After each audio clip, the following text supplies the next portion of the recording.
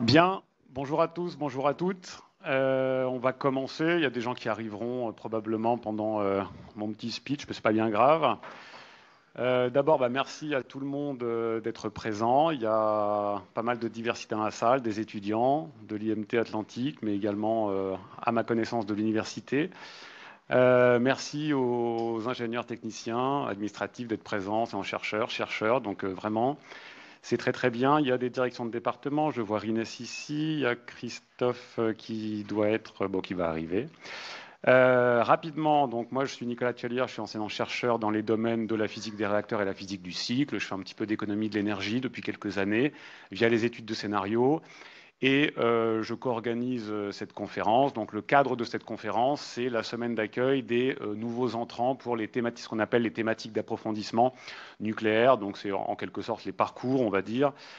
donc spécifiquement les TAF demain et demain étoile. Mais en vrai, le cadre, il est bien plus grand que ça. On voit que ça dépasse largement euh, le périmètre euh, des TAF, puisque euh, tout le monde parle d'énergie, donc on va parler d'énergie, d'électricité, de marché de l'électricité, du nucléaire, et donc c'est des sujets qui sont très sensibles et fortement d'actualité en ce moment. cette problématique, elle monte en puissance dans les médias, et c'est très bien, et la conférence d'aujourd'hui, elle vise à contribuer justement à ce débat à travers deux interventions que je vais qualifier d'académiques, au sens de l'enseignement supérieur et de la recherche. Et donc, c'est important que le monde académique prenne sa place dans ce débat sur la transition euh, énergétique, parce que ce monde académique, porte une parole qui, bien évidemment, ne peut pas être parfaitement neutre, mais euh, elle n'en est pas moins statutairement déconnectée des grands enjeux industriels, mais aussi des grands enjeux politiques et donc euh, militants. Et c'est vraiment ça qui fait sa force.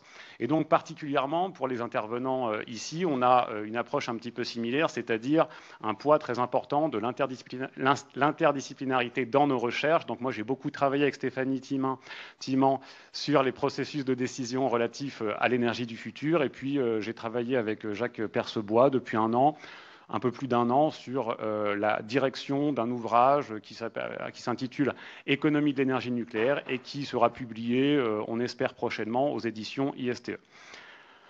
Donc, euh, bah, je remercie pour le coup les orateurs. Merci à Jacques de nous faire l'honneur d'être présent parmi nous aujourd'hui. Merci aussi à Stéphanie, qu'on connaît, enfin, qu'on connaît mieux, mais qui va également intervenir dans cette matinée. Cette matinée, donc, elle va commencer par une présentation de M. Jacques Percebois, dont euh, le long CV euh, est euh, écrit ici, je ne vais, pas, le, rappeler. Et puis, on aura ensuite une intervention de Stéphanie Timin sur le nucléaire en France, panorama et trajectoire. Et ensuite, on va débattre. Alors, débat est peut-être un terme un peu grand, ça sera plutôt un échange avec le public d'une demi-heure. donc, il y aura des questions et ce débat sera cadré sur une problématique que je rappellerai tout à l'heure à midi. Donc, on peut laisser la place maintenant à Jacques Percebois pour sa conférence Prix et marché de l'électricité. Bien, merci. Bonjour à tous. Merci beaucoup euh, à l'IMT Atlantique pour cette invitation. Moi, je vais vous parler d'un sujet d'actualité qui est le fonctionnement du, marché de l'électricité et comment se fixe aujourd'hui le prix de l'électricité à la fois au niveau du marché et euh, au niveau du consommateur final. C'est pas simple, donc j'ai à peu près 40, 45 euh, minutes, pas plus. Donc je vais essayer de, simplifier au, maximum. Alors il faut rappeler tout d'abord quelque chose qui est important, c'est le poids de l'électricité dans la consommation d'énergie. En France, c'est de l'ordre de 25%. Le gaz, c'est de l'ordre de 20%. Donc la première source d'énergie qu'on utilise, je dirais, dans, la vie courante, ce sont les produits pétroliers. Il hein. ne faut jamais perdre de vue ça, c'est à peu près 43%. Simplement, la décarbonation du mix euh, énergétique, le fait qu'on va aller vers des énergies de plus en plus décarbonées, a comme impact que l'électricité va s'imposer, c'est-à-dire qu'il y a une électrification croissante des usages.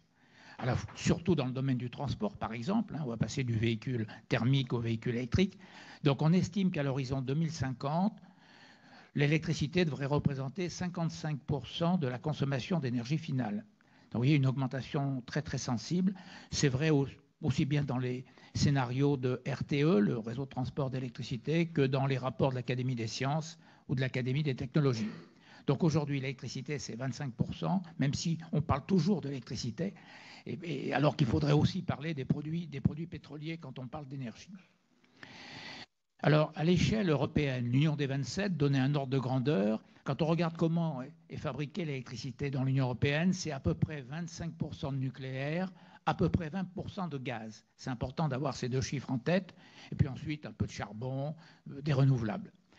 Si je regarde la France, les derniers chiffres officiels disponibles, c'est 2021, les 523 à peu près TWh. La production aujourd'hui, c'est 69% de nucléaire, 12% d'hydraulique, on a toujours un parc hydraulique important, 7% d'éolien, 3% de solaire et seulement 6% de gaz. C'est important de comprendre qu'on n'a que 6% de gaz parce que vous allez voir que le gaz va jouer un rôle important dans le fonctionnement du, marché. Donc le nucléaire a parfois représenté un pourcentage beaucoup plus élevé. On a dépassé les, 75%. Hein. Euh, Stéphanie reviendra. Si vous voulez, dans le passé, euh, il y a eu une évolution du, du mix électrique. Il faut savoir qu'après la Deuxième Guerre mondiale, c'était largement du charbon. Il faut savoir qu'en 1960, la première façon de faire de l'électricité en 1960, c'était l'hydraulique, parce que la France avait construit énormément de barrages. Ensuite, on est passé au fioul, et puis ensuite, au moment des chocs pétroliers, on est passé au nucléaire. Donc la part du nucléaire aujourd'hui a chuté. On est plutôt en dessous de 69, euh, de 70%, alors qu'on avait dépassé les, les 75%.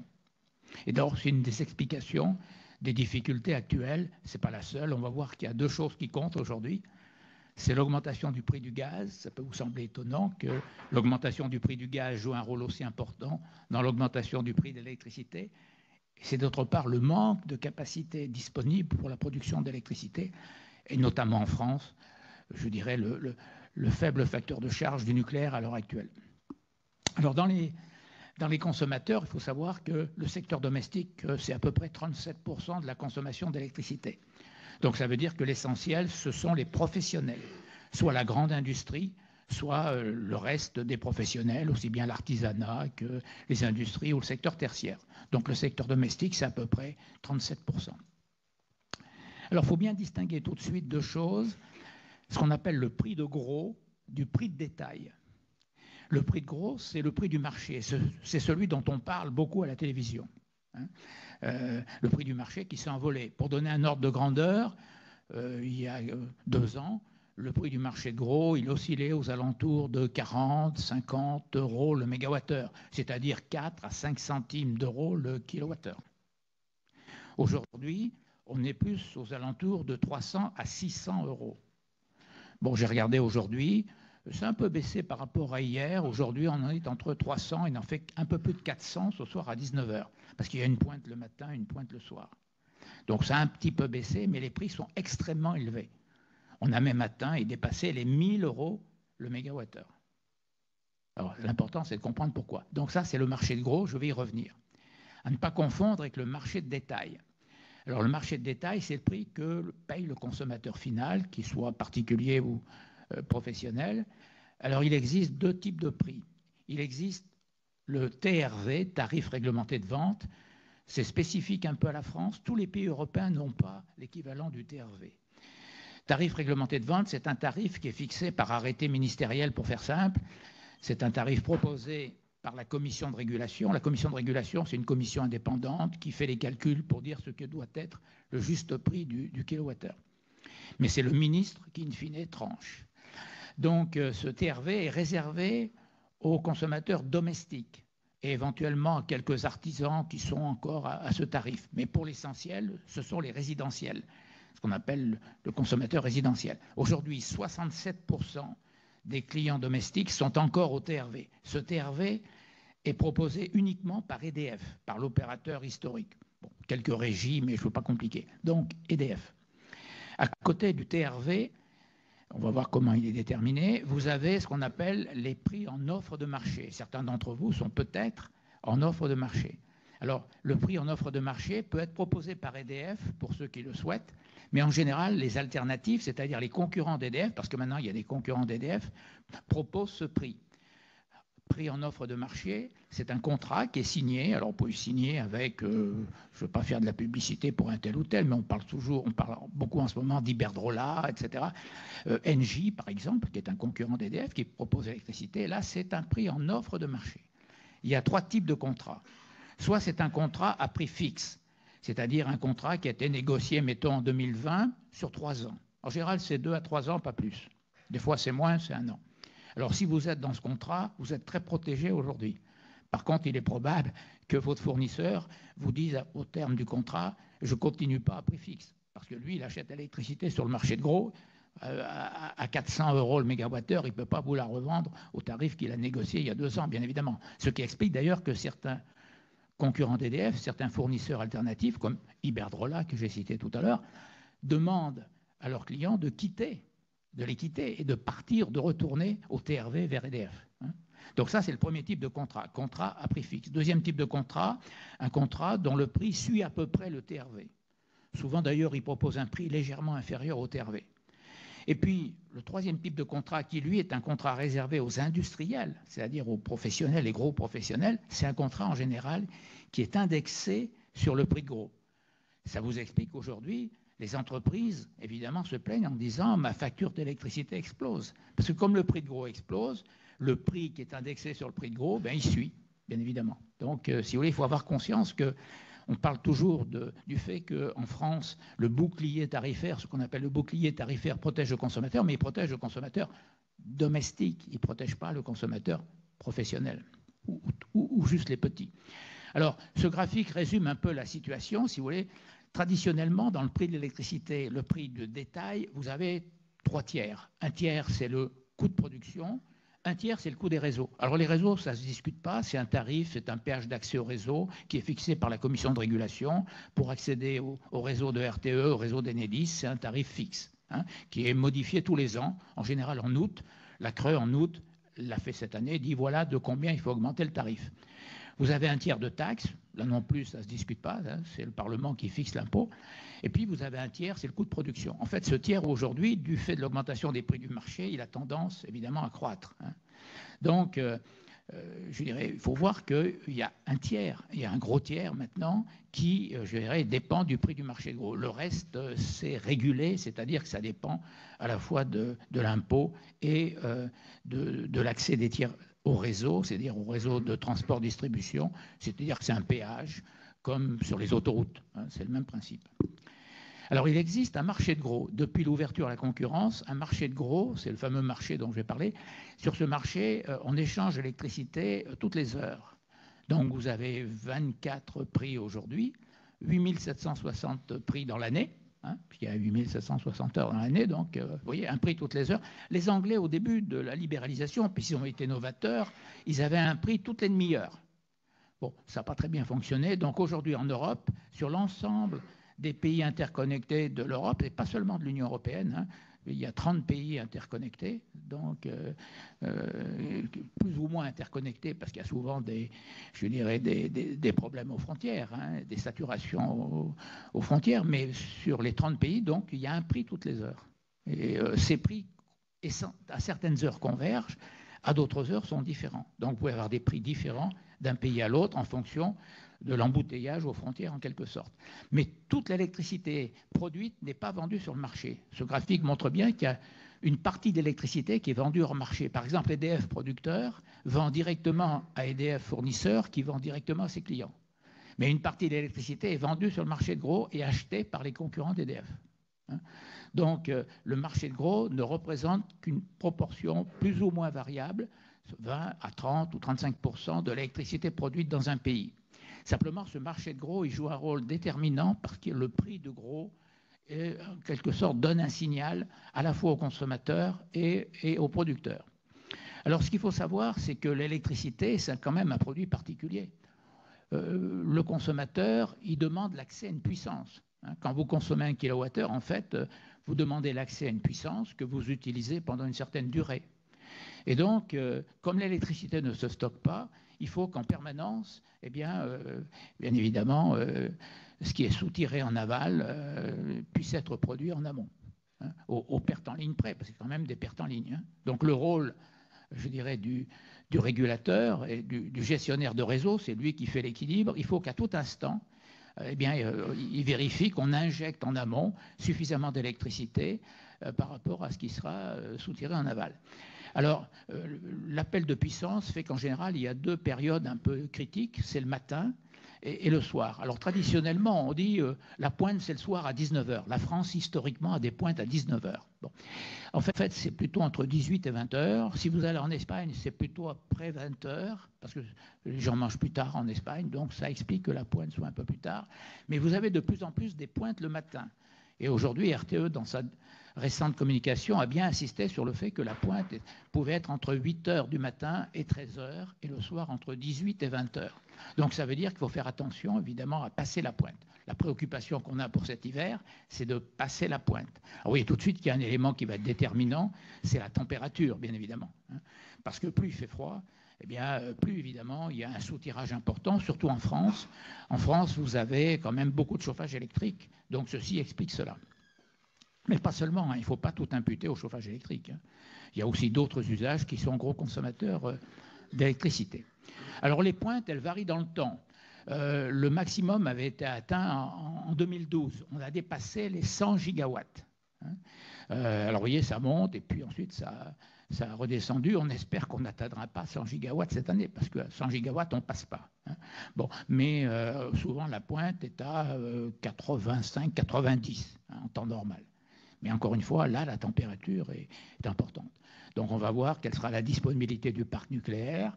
Est-ce qu'on pourra compter sur euh, les Allemands? Euh, c'est pour ça d'ailleurs qu'il y a un accord avec les Allemands, on va leur envoyer du gaz, comme on n'a pas assez de production d'électricité, ils nous renverront de l'électricité faite avec notre gaz. Hein. Bon, donc on fait des échanges comme ça qui permettent eh bien, de, s'assurer qu'il euh, y a un équilibre du réseau, parce qu'il faut que le réseau européen reste en équilibre en permanence. Et s'il y a un problème dans un pays, les autres doivent jouer la solidarité, sinon c'est tout le réseau qui s'effondre. Alors la libéralisation fait, comme je l'ai dit, qu'aujourd'hui, vous avez un marché, vous avez ouverture à la concurrence. En fait, il faut savoir que dans le passé, euh, pas si ancien, puisque c'est depuis 2000 que les choses ont beaucoup changé, vous aviez une entreprise unique qui, pour faire simple, produisait, transportait, distribuait, une entreprise publique, s'appelait en France EDF, et qui ça, fonctionnait relativement bien. Et les gens étaient relativement contents. Ils n'étaient pas contents dans tous les pays nécessairement. Hein. S'il y a eu libéralisation, euh, c'est d'abord parce que les textes du traité de Rome prévoient qu'il faut ouvrir à la concurrence, ça c'est un argument juridique, c'est aussi parce que dans certains pays, les, entreprises publiques fonctionnaient pas très bien. Donc la France, au début, a dit, mais pourquoi voulez-vous qu'on change de système? On est très content de notre système. Mais la Commission a dit, c'est la loi, euh, le traité de Rome prévoit qu'il faut ouvrir à la concurrence. Et, donc, euh, on a ouvert à la concurrence, d'autant que la concurrence avait été ouverte dans d'autres secteurs, notamment les télécoms, mais dans les télécoms, l'ouverture à la concurrence était plutôt bien passée. On va voir dans l'électricité, ce n'est pas exactement la même chose. Donc, qu'est-ce que ça veut dire ouverture à la concurrence? Ça veut dire que la production est ouverte à la concurrence, ce n'est plus un monopole. Il n'y a plus de monopole d'importation, il n'y a plus de monopole d'exportation, il n'y a plus de monopole de production. En revanche, les réseaux sont un monopole naturel. Le réseau de transport, on ne veut pas dupliquer le réseau de transport. Hein. On ne va pas dupliquer le réseau ferré de France. Euh, si quelqu'un veut faire rouler des trains, il y a un réseau qui existe, eh bien, euh, j'utilise le réseau qui existe moyennant des péages. Ben, c'est pareil pour le réseau de transport de RTE, pour le réseau de distribution d'Enedis. En revanche, la fourniture, la vente de kilowattheures est ouverte à la concurrence. Donc les producteurs sont toujours des fournisseurs, mais le point important, c'est que les fournisseurs ne sont pas toujours des producteurs. Engie est un producteur-fournisseur, Total est un producteur-fournisseur. Mais beaucoup de petits fournisseurs ne sont pas producteurs. Ils achètent sur le marché de gros ce qu'ils revendent au détail. Donc vous voyez bien tout de suite le problème. Ils ne peuvent pas vous revendre moins cher ce qu'ils ont acheté sur le marché de gros quand il est cher, bien évidemment. Alors, ce qu'il faut bien comprendre aussi, et je vais introduire deux notions très différentes, c'est le coût moyen de l'électricité et le coût marginal. Parce que vous entendez, même dans la presse courante, vous entendez parler du coût marginal. Alors, il y a deux notions très très différentes qu'il faut bien avoir en tête. Le coût moyen, c'est assez intuitif. Hein. le coût moyen, c'est sur la durée de vie de la centrale, quel va être le prix de revient du kilowattheure. Bon, alors c'est un principe très simple sur le plan du calcul, sur le plan du calcul économique. Le principe est le suivant on considère qu'on fait les calculs par rapport à l'année où la centrale est raccordée au réseau, l'année zéro. Donc de l'année moins n à l'année zéro, je construis la centrale. De l'année zéro à l'année grand T, je fais fonctionner la centrale. Alors tout ça, il faut des hypothèses hein, sur la durée de fonctionnement d'une centrale. Alors on fait des hypothèses économiques, en général prudentes.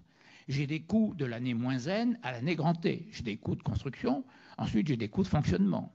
J'ai également des coûts fixes au fur et à mesure qu'il faut rénover euh, les équipements. Puis j'ai des coûts variables. Les coûts variables, ce sont des coûts euh, qui consistent à payer le combustible quand il y a du combustible. Il y a toujours du combustible en général. Et donc, euh, voilà les coûts variables. Et alors, je fais un calcul, je regarde avec une hypothèse sur le facteur de charge de la centrale. Donc, je fais des hypothèses sur le fait que la centrale va être appelée plus ou moins dans l'année. Donc, mettons qu'une centrale dure 20 ans, je fais un calcul économique sur 20 ans ou 25 ans, je fais une hypothèse sur la durée de fonctionnement moyenne de l'année, et je regarde ensuite combien je dois vendre le kilowattheure aux bornes de la centrale pour récupérer sous forme de recettes ce que j'ai dépensé sous forme de coût. C'est-à-dire que l'opération soit blanche. La seule chose sur le plan économique, c'est que je n'ai pas le droit d'additionner des sommes d'argent disponibles à des moments différents du temps. Il faut, comme on dit, actualiser. C'est-à-dire qu'il faut tenir compte du temps où la recette, euh, où la dépense apparaît. Donc on introduit un facteur d'actualisation. Mais je n'ai pas le temps de rentrer dans ce genre de détails, peu importe. Ça veut dire, si vous voulez, qu'au fond, ça, c'est le coût de production moyen. Alors, ce coût de production, il est très variable hein, d'une technologie à l'autre. Là, vous avez, par exemple, un document assez récent de la Banque mondiale qui montre que, vous voyez, vous avez des plages de valeur. Alors, euh, ça, dépend évidemment de la technologie, ça dépend d'hypothèses sur euh, le facteur de charge. Le facteur de charge va être important. Il y a des facteurs tout à fait déterminants. Par exemple, euh, il est certain que si vous mettez plus de temps que prévu pour construire la centrale, ça va coûter plus cher. Si la centrale fonctionne moins longtemps que ce qui est prévu, ça va coûter plus cher. Hein. Donc le facteur de charge, euh, la durée de la construction, le coût de la construction. En général, ce qui coûte pas trop cher dans le nucléaire, par exemple, le coût du combustible, c'est relativement modeste. Hein. Euh, dans, une centrale nucléaire, je dirais l'uranium, c'est. Euh, alors ça dépend comment on compte, mais le, cycle de l'uranium, c'est 15% à peu près. ça dépend des, des hypothèses. Et l'uranium lui-même, c'est 5%. Par contre, dans une centrale à gaz, ce qui coûte cher, c'est le gaz. C'est 80%. Ce qui coûte cher dans le charbon, euh, c'est le charbon, c'est le combustible. À cela s'ajoute le fait que comme ce sont des énergies carbonées, il faut payer ce qu'on appelle des, euh, quotas de CO2, et le prix du CO2 aujourd'hui est, relativement élevé. Donc, si vous voulez, vous avez euh, un certain nombre d'hypothèses qui montrent qu'il faut toujours faire des simulations pour voir les conséquences, je dirais, sur le prix de revient. Donc ça, c'est un coût moyen. Ça vous donne une idée, quel est le coût moyen de fabrication d'un kilowattheure avec telle ou telle technologie. Et en fonction de ça, vous allez dire je construis tel ou tel équipement. À ne pas confondre avec le coût marginal. Le coût marginal, c'est le coût de fonctionnement. Et dans le coût de fonctionnement, surtout dans le thermique, qu'est-ce qui compte? C'est essentiellement le coût du combustible, je l'ai dit. Euh, Ce n'est pas vrai partout. Dans une éolienne, le coût de fonctionnement, il est très très faible. Dans le nucléaire, je viens de vous le dire, il est relativement faible. Donc, on va, quand on appelle les centrales, quand le gestionnaire du réseau appelle les centrales pour répondre heure par heure à la demande, la règle, c'est qu'on appelle les centrales selon ce qu'on appelle le mérite order, l'ordre de mérite, c'est-à-dire qu'on appelle les centrales en fonction du coût variable, c'est-à-dire du coût marginal. On commence par appeler les centrales, je dirais, qui coûtent le moins cher. Alors, celles qui coûtent encore le moins cher, c'est ce qu'on appelle l'électricité fatale. Quand vous avez du vent, l'électricité éolienne est prioritaire. Quand vous avez euh, euh, de, l'hydraulique au fil de l'eau, si vous turbinez pas quand l'eau passe, euh, c'est perdu. Hein. Sur le Rhône, si vous turbinez pas quand l'eau passe, elle va dans la Méditerranée, c'est perdu. Donc on appelle d'abord l'électricité fatale. Puis ensuite, on appelle le nucléaire, parce que le coût variable du nucléaire est très bas. Puis on appelle les centrales à charbon. Puis on appelle les centrales à gaz, les centrales à cycle combiné à gaz. Et puis pour la pointe, soit on garde des barrages, pour éventuellement turbiner très vite parce que on peut répondre à la demande, soit on appelle eh bien, des turbines à gaz qui, elles, démarrent très très vite parce que les autres centrales, elles ne démarrent pas nécessairement très très vite. Donc on voit tout de suite que là, vous avez ce qu'on appelle une courbe de mérite order. Et en fonction de la demande, c'est le prix de revient de la dernière centrale appelée qui fait le prix d'équilibre sur le marché. Alors c'est ça qu'il faut comprendre. Sur le marché de gros, le prix d'équilibre est fonction est calé sur le coût marginal de la dernière centrale qu'on appelle la centrale marginale. Donc vous comprenez à partir de là qu'il eh ben, y a des centrales qui, quand elles sont appelées, si elles ne sont pas marginales, elles ont évidemment une rente, hein, puisque le prix, le prix va être fixé par le marché en fonction du coût marginal de la dernière centrale appelée. Euh, c'est ce qu'on appelle la règle, euh, je dirais, de, des enchères euh. Les enchères à prix limite, ça veut dire que tout le monde est payé sur la base du dernier du prix d'équilibre, qui est le coût de la dernière centrale appelée.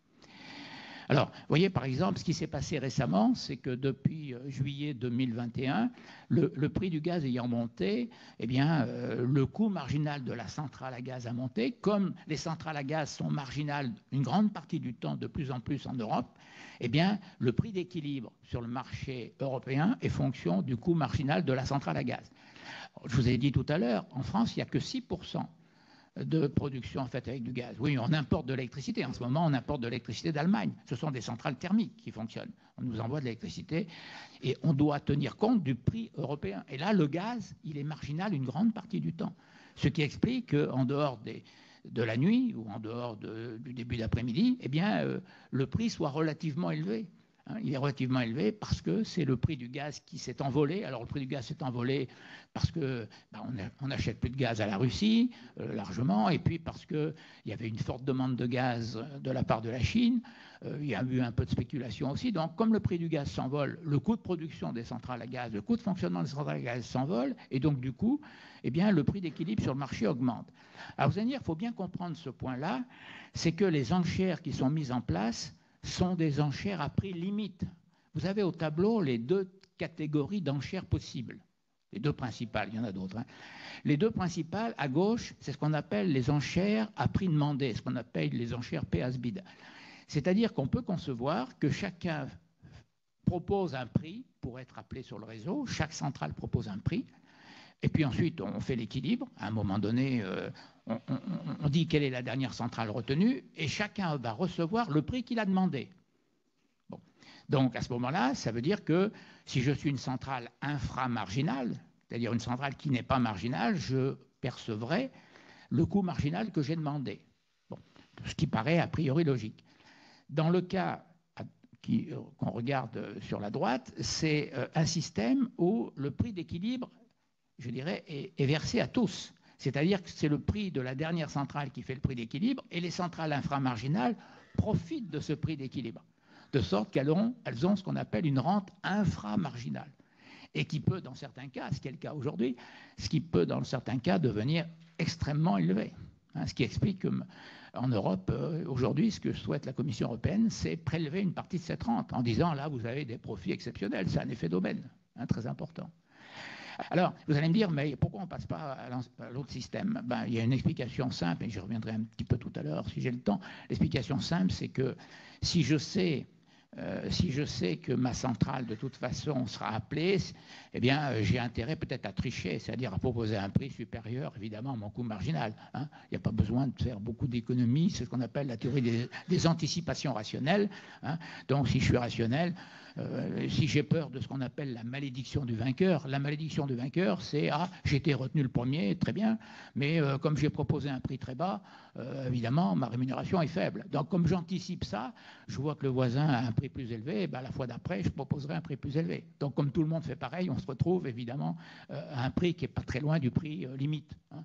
Donc, en fait, les enchères PS bid, sauf quand on manque sauf quand il y a trop de capacité, hein, ce qui peut arriver, quand, il n'y a pas de capacité, les enchères PS bit, comme on dit, les enchères euh, qu'on appelle d'ailleurs euh, aussi à la hollandaise, eh bien ces enchères, elles ont le même résultat que les enchères à prix limite. Hein, c'est facile de ce point de vue à comprendre. Donc c'est bien les enchères à prix limite qui aujourd'hui s'imposent sur le marché, ce qui explique qu'il y ait des rentes infra-marginales élevées. Alors, quand on regarde sur hum, long terme, hein, sur quelques années, on voit qu'il y a une corrélation assez bonne entre le prix du gaz et le prix de l'électricité sur le marché de gros. C'est une tendance. Hein. Euh, parce que le, gaz est souvent marginal. Alors pourquoi il est souvent marginal? Parce qu'on était en surcapacité il y a quelques années et on a fermé beaucoup de centrales. On a fermé beaucoup de centrales nucléaires en Europe, même la France a fermé des centrales nucléaires à tort. Hein. Bon. Et puis euh, on a fermé euh, des centrales euh, thermiques un peu partout. On a fermé beaucoup de centrales à gaz, on a fermé des centrales au charbon. Donc on se retrouve dans une situation où on manque de capacité. Et donc la centrale marginale, c'est souvent la centrale à gaz. Alors on voit d'ailleurs que ce prix est bien au-delà du coût moyen. Ça, c'est une étude que je viens de publier avec un collègue du CEA. On a pris les prix horaires, vous voyez, c'est la, courbe qui fluctue. Euh, alors là, c'est sur six mois. On l'a refait là. On a refait un papier qui sur euh, un an cette fois. Sur six mois, vous voyez que les prix de gros, bah, ils, sont, ils peuvent être très très élevés. Hein. Ils dépassent 700 euros. Euh, il y a même des cas un peu particuliers. Je vous ai dit tout à l'heure cas on a atteint 1000 euros. Et, donc en, bas, c'est le coût moyen, un coût moyen pondéré. Hein. Et donc vous voyez qu'on est en général très au-dessus C'est-à-dire qu'il y a des profits qui permettent de, couvrir largement les coûts. Parce que vous allez me dire, mais si vous faites une, tarification au coût marginal, hein, c'est une tarification qui a été proposée sur le plan théorique et qui se justifie tout à, fait par Marcel Boiteux, l'ancien patron d'EDF, mais euh, Stéphanie y reviendra tout à l'heure. Et donc la tarification au coût marginal, vous allez me dire, mais si vous récupérez les coûts variables, comment vous faites pour récupérer les coûts fixes? Réponse, les centrales inframarginales qui récupèrent une rente, puisqu'elles sont rémunérées au prix du coût marginal de la dernière centrale, peuvent financer les coûts fixes avec cette rente. Alors reste le problème de la centrale marginale, qui ne récupère que ses coûts variables, et donc il faut que le prix d'équilibre soit parfois un peu supérieur, je dirais, au, coût marginal de la dernière centrale, ou alors il faut mettre en place, ce qu'on a fait d'ailleurs depuis 2017, un, marché dit de capacité, c'est-à-dire un marché sur lequel on finance les coûts fixes dans certaines situations. Donc on voit que les prix de gros aujourd'hui permettent facilement de financer les coûts fixes. Alors voilà par exemple les coûts. Alors vous voyez, ça c'est une date donnée. Alors c'est le 30, euh, je crois c'est en mars, le, non, le 24 mars 2022, c'est à titre anecdotique. Vous voyez, le prix était en moyenne ce jour-là à 272 euros en France, 244 en Allemagne. Il est variable d'un pays à l'autre. Tout dépend de la saturation aux frontières. Quand il n'y a pas de saturation, le prix est strictement le même, par exemple, entre la France et l'Allemagne. Aujourd'hui, c'est le cas à certaines heures.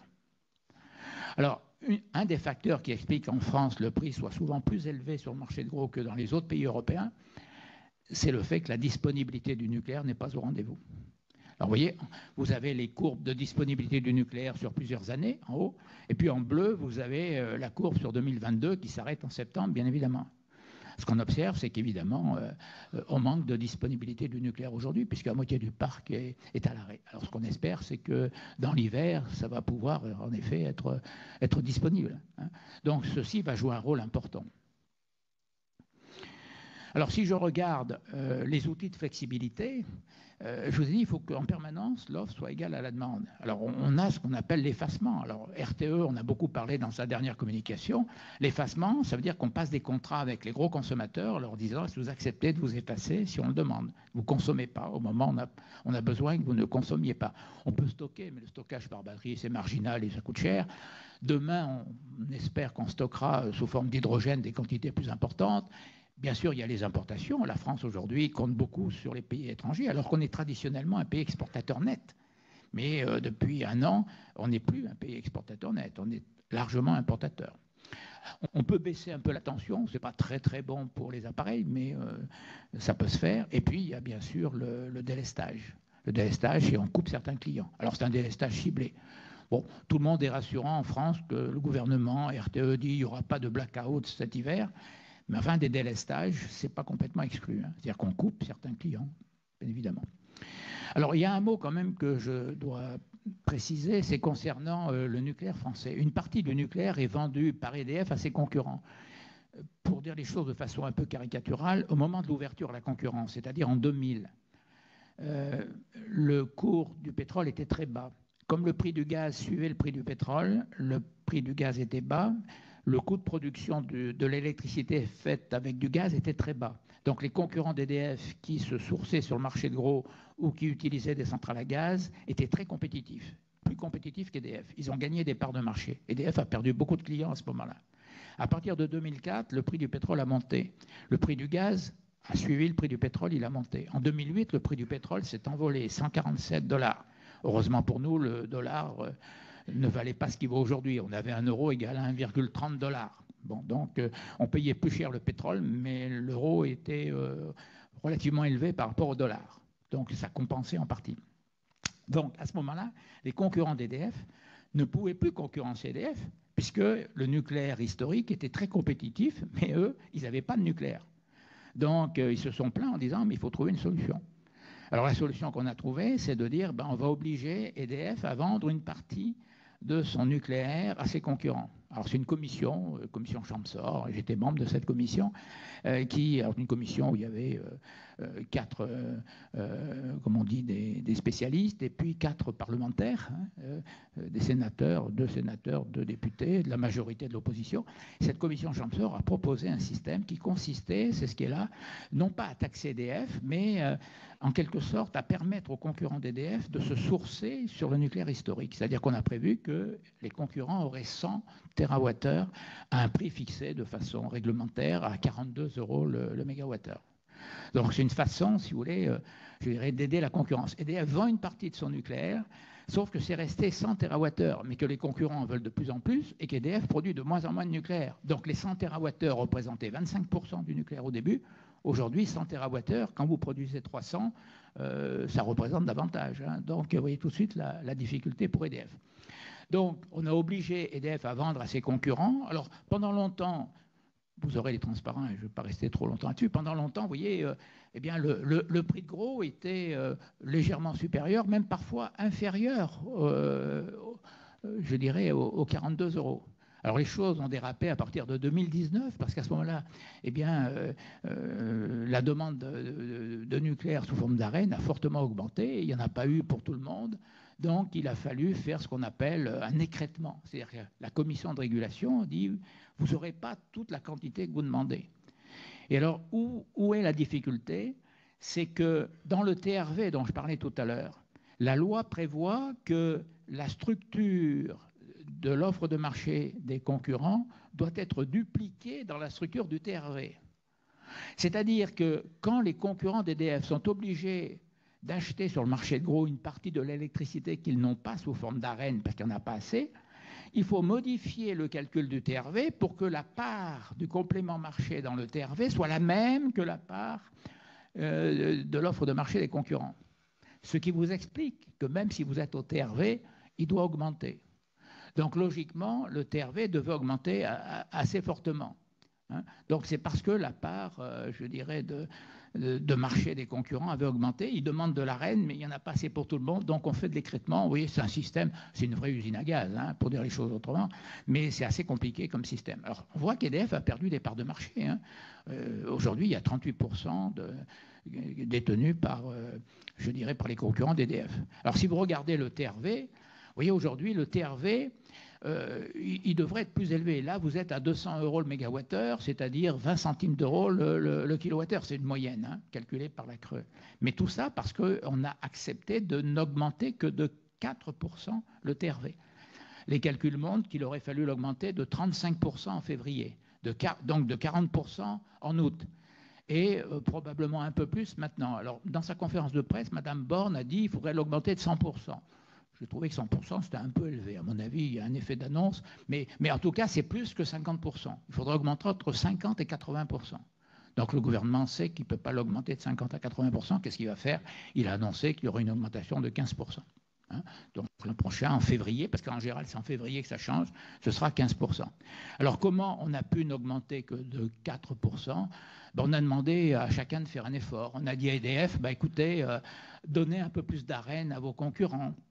Euh, on a dit accepter de ne pas vendre votre électricité dans le cadre du TRV euh, en tenant compte du prix du marché, euh, renier un peu sur vos marges. Et puis l'État a baissé une taxe. C'est-à-dire qu'aujourd'hui, la TICFE, la taxe intérieure sur la consommation finale d'énergie, qui était de, 22 euros le mégawattheure, 22,5 euros le mégawattheure, a, chuté à 1 euro ou à 0,5 euros. C'est-à-dire que le gouvernement a accepté, je dirais, de baisser fortement la taxe. Mais euh, les Français sont relativement protégés de ce point de vue par rapport aux, pays étrangers. Ah, qu'est-ce qui s'est passé? Ça va trop vite là. Voilà. Donc, voilà les mesures, mais je ne les détaille pas, les mesures qui font qu'on euh, a pu d'augmenter que de 4% le, le, TRV.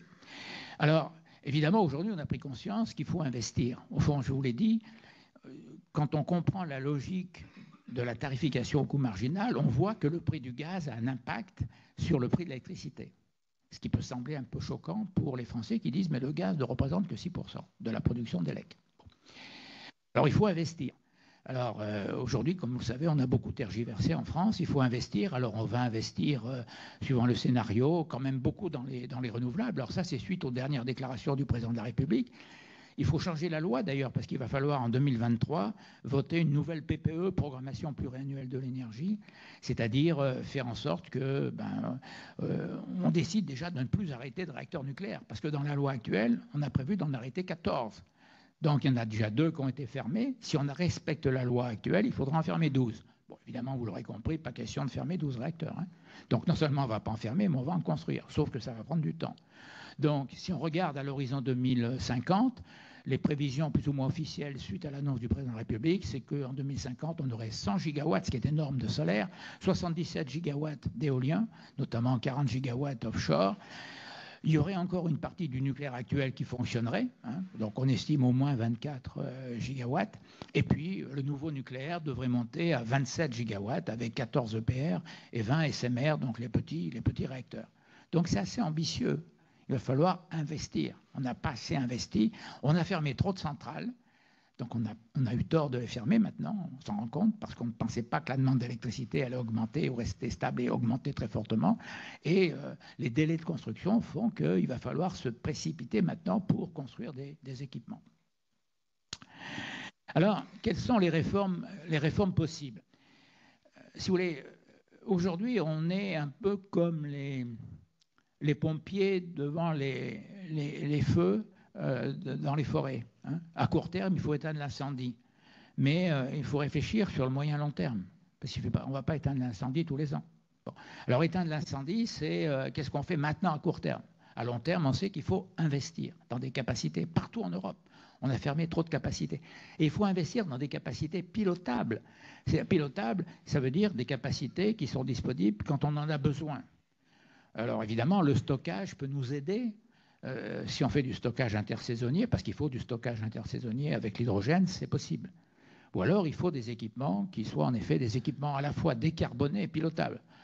Euh, les, équipements décarbonés et pilotables, vous avez l'hydraulique et vous avez le nucléaire. Hein. Donc, euh, et pour les renouvelables autres, eh bien, ça veut dire qu'il faut en effet du stockage.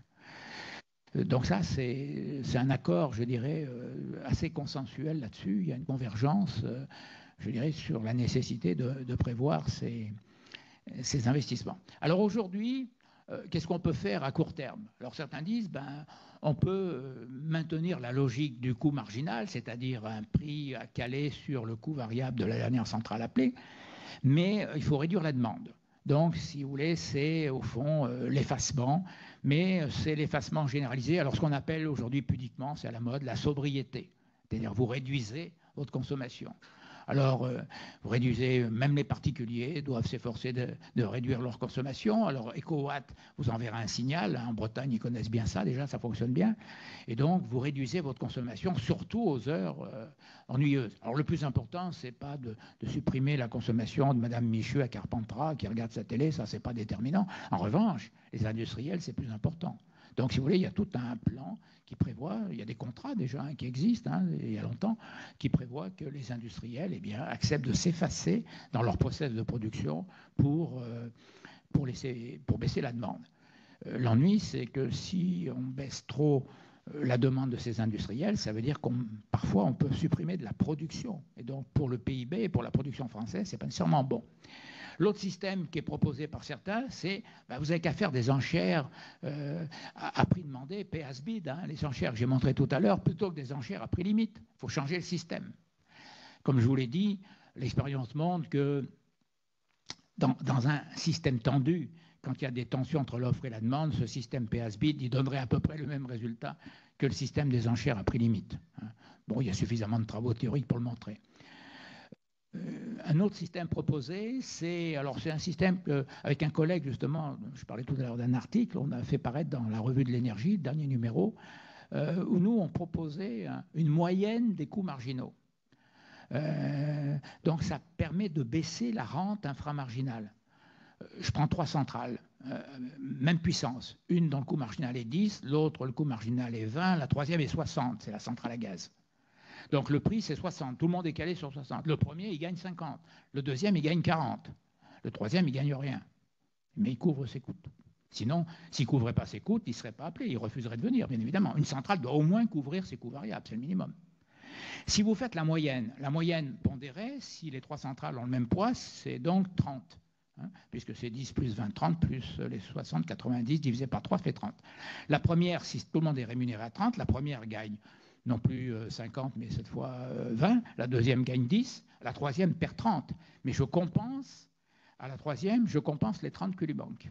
Je montre à ce moment-là, on l'a montré chiffre à l'appui sur une année, en prenant tous les chiffres horaires, tous les prix horaires, on montre que, le système, globalement, permet de baisser le coût euh, payé par le consommateur final. On baisse fortement la rente.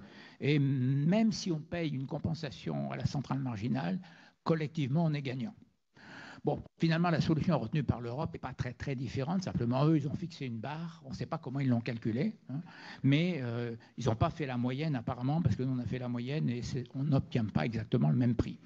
Donc, euh, une autre solution, c'est très sensible ce système.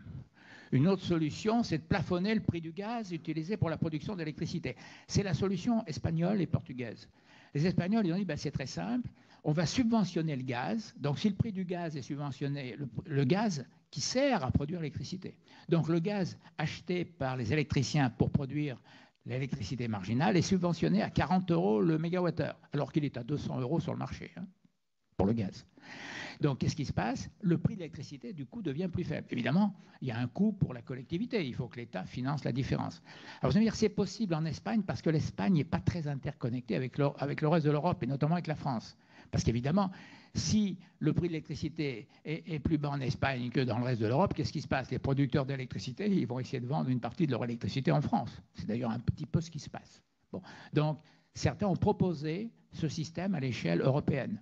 Ça a notamment été le cas de, certains pays qui ont dit c'est ça qu'il faut faire, il faut faire la mode, le système espagnol et l'Europe prend en charge euh, les subventions. Bon, visiblement, ce n'est pas trop ce qui est retenu. Donc, ce qui a été retenu, c'est un peu la solution 5 et la solution 6, c'est-à-dire taxer la rente inframarginale. C'est-à-dire qu'on va mettre un plafond à ceux qui sont des producteurs inframarginaux d'électricité, c'est-à-dire pas les centrales à gaz, elles, reçoivent le, prix final, mais euh, les autres vous avez une rente, il ne faut pas qu'elle soit excessive. Donc, on a dit, bah, à un moment donné, c'était le chiffre de 200 euros le mégawattheure qui était avancé. Aujourd'hui, c'est 180 euros. Madame van der Leyen a annoncé que ce sera 180 euros. Alors, euh, bon, ça, laisse encore de la marge pour, pour ces producteurs pour couvrir leurs coûts fixes. Alors, la question maintenant, c'est qu'est-ce qu'on fait, euh, je dirais, de ce qui maintenant est disponible, puisqu'on baisse euh, le coût. Alors soit c'est répercuté sur le consommateur, c'est visiblement ce que souhaite l'Europe.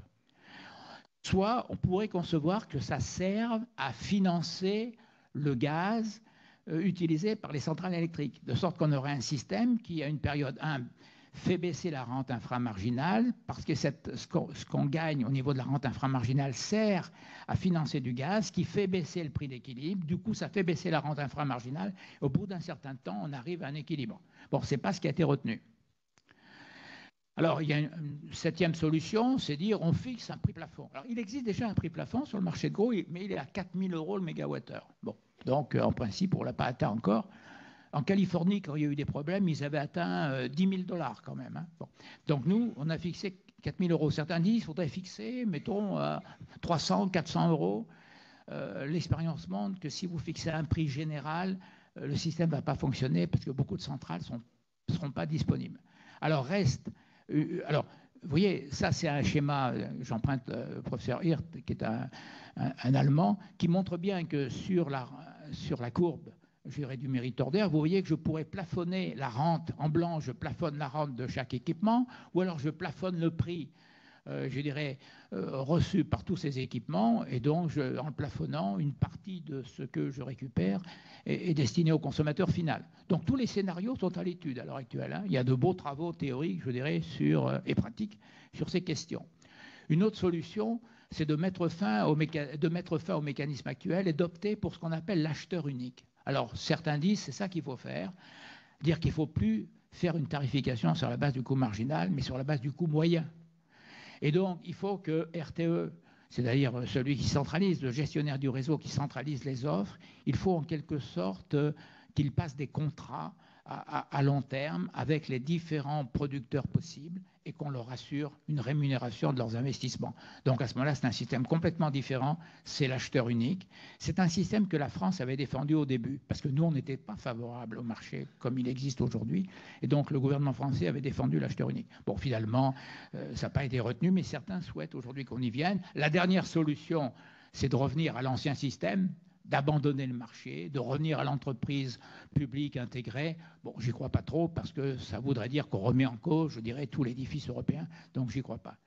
Donc, aujourd'hui, en conclusion, je dirais qu'il faut bien voir que les deux raisons principales de l'envolée des prix de gros, c'est la hausse du prix du gaz, et ça s'explique par cette logique de fixation des prix en fonction du coût marginal de la centrale marginale, mais c'est aussi et largement euh, ben, le manque de capacité Euh, sachant qu'il ne faut jamais perdre de vue que comme l'électricité ne se stocke pas, euh, eh bien, euh, il faut pouvoir satisfaire la demande à tout instant. N'oublions pas aussi que l'électricité, c'est un service public. Merci.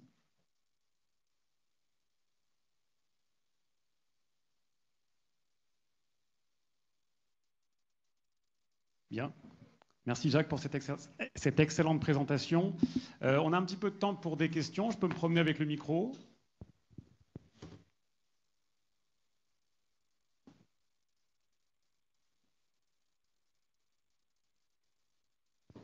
Bonjour, merci pour toutes ces explications. Euh, on voit bien que euh, selon l'horaire de la journée, le, le coût de l'électricité est différent. Pourquoi est-ce que la tarification n'est pas faite en fonction de l'horaire, comme ça a été le cas euh, à des années, avec des, heures creuses, des heures pointes, euh, voire même du délestage, comme vous disiez, au, lieu qu'il soit imposé, mais choisi aux entreprises qui prennent une tarification JP, comme ça existait. Pourquoi toutes ces tarifications ne sont plus proposées aux consommateurs pour pouvoir étaler sa consommation dans les périodes où l'électricité serait moins chère et euh, ça éviterait de lancer les, centrales gaz et puis ben, tout ce que vous nous avez expliqué. Ça éviterait pas de lancer les centrales on en aurait besoin quand même dans l'état actuel du parc. Mais euh, ça existe toujours. Le tarif EJP existe toujours, ceux qui l'ont souscrit, il n'est plus proposé. Il y a l'équivalent tarif Tempo, à la fois pour les industriels et les particuliers, qui est un tarif, en effet, c'est heure pleine, heure creuse, mais avec une différenciation. Alors pourquoi EDF ne le propose plus? Parce qu'en fait, il n'était plus tout à fait adapté. Il faut revoir un peu ce tarif, mais en effet, aujourd'hui, le tarif effacement, c'est un peu ça.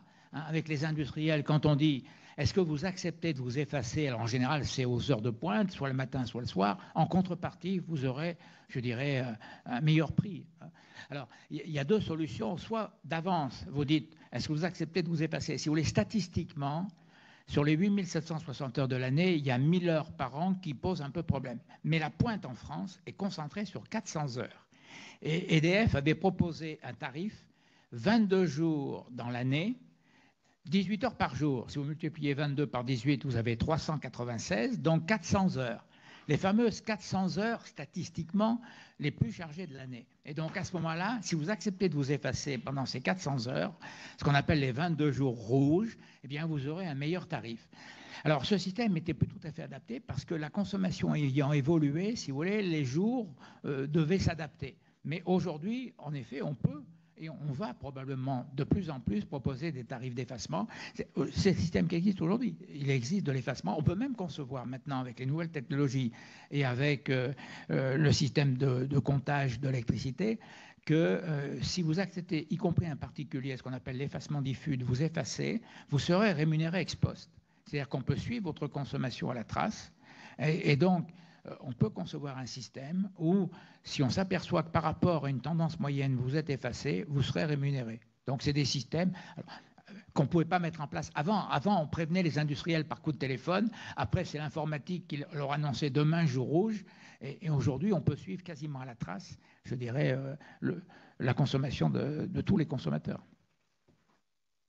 Une autre question?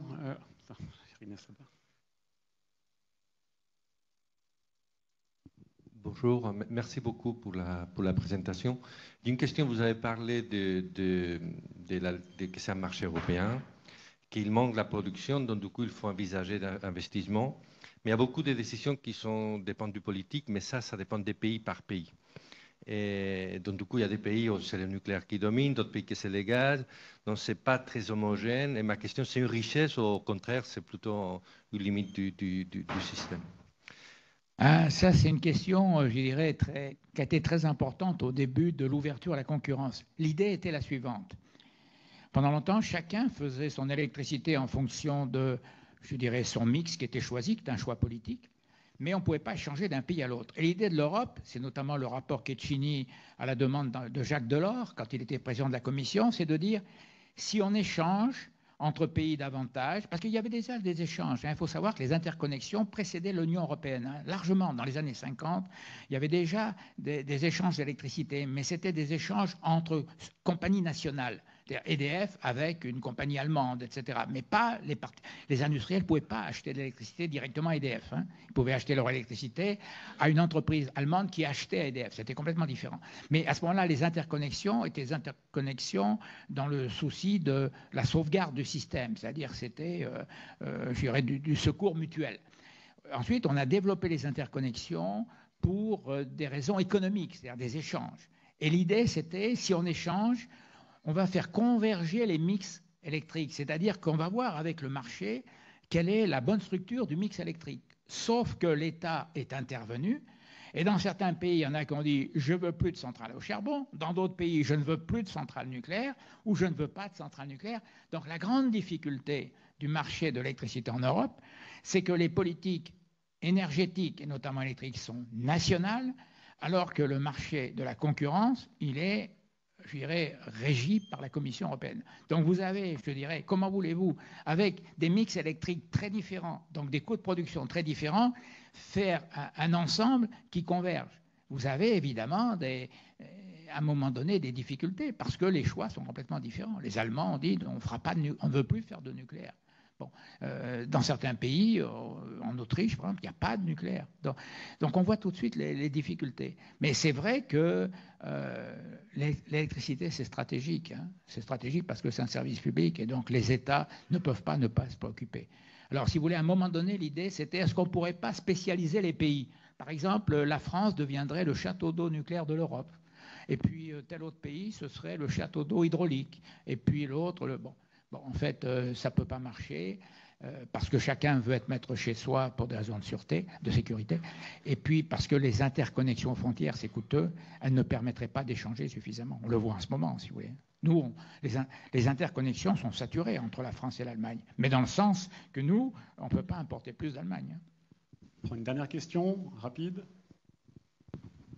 Oui, bonjour. Mon question, c'est à la fois dans le dans les marchés allemands, français, on a quelquefois des prix négatifs pour la France et ça, c'est déjà une chose un peu étonnante.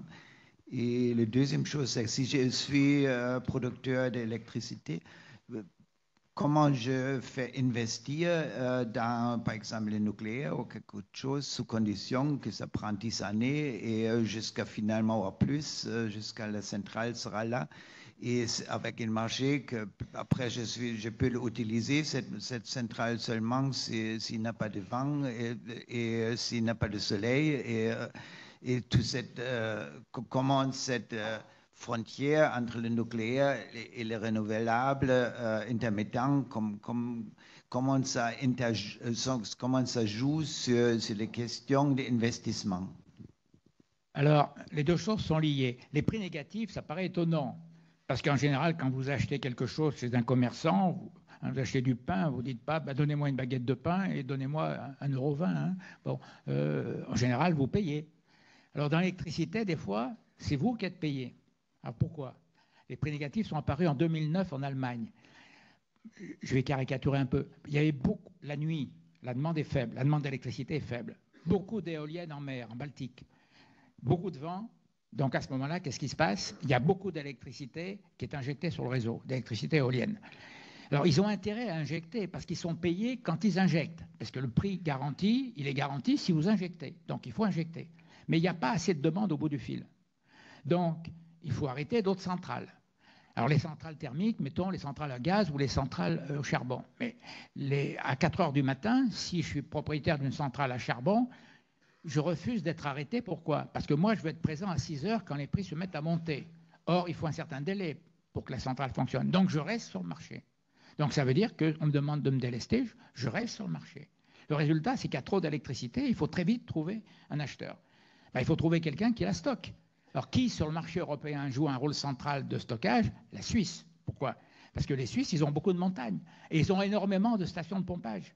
Donc, si vous voulez, ils prennent l'électricité, ils sont payés pour prendre l'électricité excédentaire, ils débarrassent le marché d'un produit encombrant, ils montent de l'eau au sommet du barrage d'en haut et ils returbinent aux heures de pointe pour vendre aux Italiens à prix fort. Donc, ils sont payés deux fois quand ils prélèvent et quand ils euh, réinjectent, enfin, quand ils injectent sur le réseau. Alors, les prix négatifs, il y en a eu beaucoup en Allemagne, euh, à cause, en effet, de l'incertitude sur les éoliennes en particulier, parce que les éoliennes en mer euh, crachent beaucoup à ce moment-là. En France, il y a eu aussi des prix négatifs. D'ailleurs, pendant longtemps, le problème, c'était qu'on avait des prix négatifs. Le résultat, c'est qu'on a fermé beaucoup de capacités. Aujourd'hui, les prix s'envolent. Mais en 2019, en 2020 et surtout en 2016, en 2016, beaucoup d'industriels, beaucoup de producteurs d'électricité ont, arrêté de faire fonctionner les centrales. Alors ça rejoint votre deuxième question. Avec des prix de marché aussi volatiles, qui sont capables de passer de moins 500, comme c'était le cas en 2019, à plus 1000, etc., comment voulez-vous que j'investisse dans des équipements que je vais mettre 7 à 8 ans, voire 10 ans à construire, qui vont durer au minimum 20 ou 30 ans, et parfois, si c'est du nucléaire, 60 ans, est-ce que j'ai une garantie que je vais récupérer la mise? Pas du tout. C'est la raison pour laquelle les Anglais, qui nous ont forcés à mettre en place ce marché, sont les premiers à en sortir. Et maintenant, ils ont un système très régulé. Qu'est-ce qu'ils font? Ils ont mis en place ce qu'on appelle les contrats pour différence. C'est le système utilisé pour Incline Point en Angleterre, la centrale que construit EDF, qui est le système suivant. Construisez votre centrale. Quand elle sera prête, vous injectez sur le réseau. Si le prix du marché est suffisant pour rentabiliser votre centrale, pas de problème. Si le prix est insuffisant, contrat pour différence, on vous versera la différence. Par contre, si le prix est trop rémunérateur, c'est vous qui reverserez la différence à l'État. C'est entre nous d'ailleurs ce qui se passe aujourd'hui en France pour l'éolien et un peu le solaire les derniers contrats avec les éoliennes, ce sont des contrats de ce type. C'est-à-dire que les éoliennes, pendant longtemps, le prix du marché était à, mettons, 80 euh, ou 60. Les éoliennes disaient notre coût de production, c'est 120. L'État verse la différence avec une taxe que vous payez tous. Hein. Et puis aujourd'hui, comme le prix monte, les renouvelables reversent à l'État la différence. À 600 euros le mégawattheure, le prix est fixé à 120, donc ça veut dire que la différence est versée à l'État. Et l'État est en train de récupérer l'équivalent de 8 milliards d'euros. C'est pas négligeable. Donc les renouvelables aujourd'hui, qui ont coûté cher pendant longtemps, aujourd'hui commencent à rapporter à l'État parce que les prix du marché de gros sont très élevés avec un système de contrat pour différence. J'ai une dernière, dernière question ici. Eh bien, euh, merci monsieur pour votre présentation. Euh, moi, j'aimerais poser une question euh, notamment sur les alternatives, en l'occurrence les, entreprises qui bénéficient de l'AREN. En fait, j'aimerais savoir, est-ce que ces entreprises en fait cofinancent les projets de, par exemple, le nouveau nucléaire? Et je parle, je mets en fait l'accent sur les entreprises en fait qui bénéficient d'une surface monétaire assez suffisante. Est-ce que ces entreprises cofinancent ces projets-là Et sinon, pourquoi en fait ne financent-elles pas?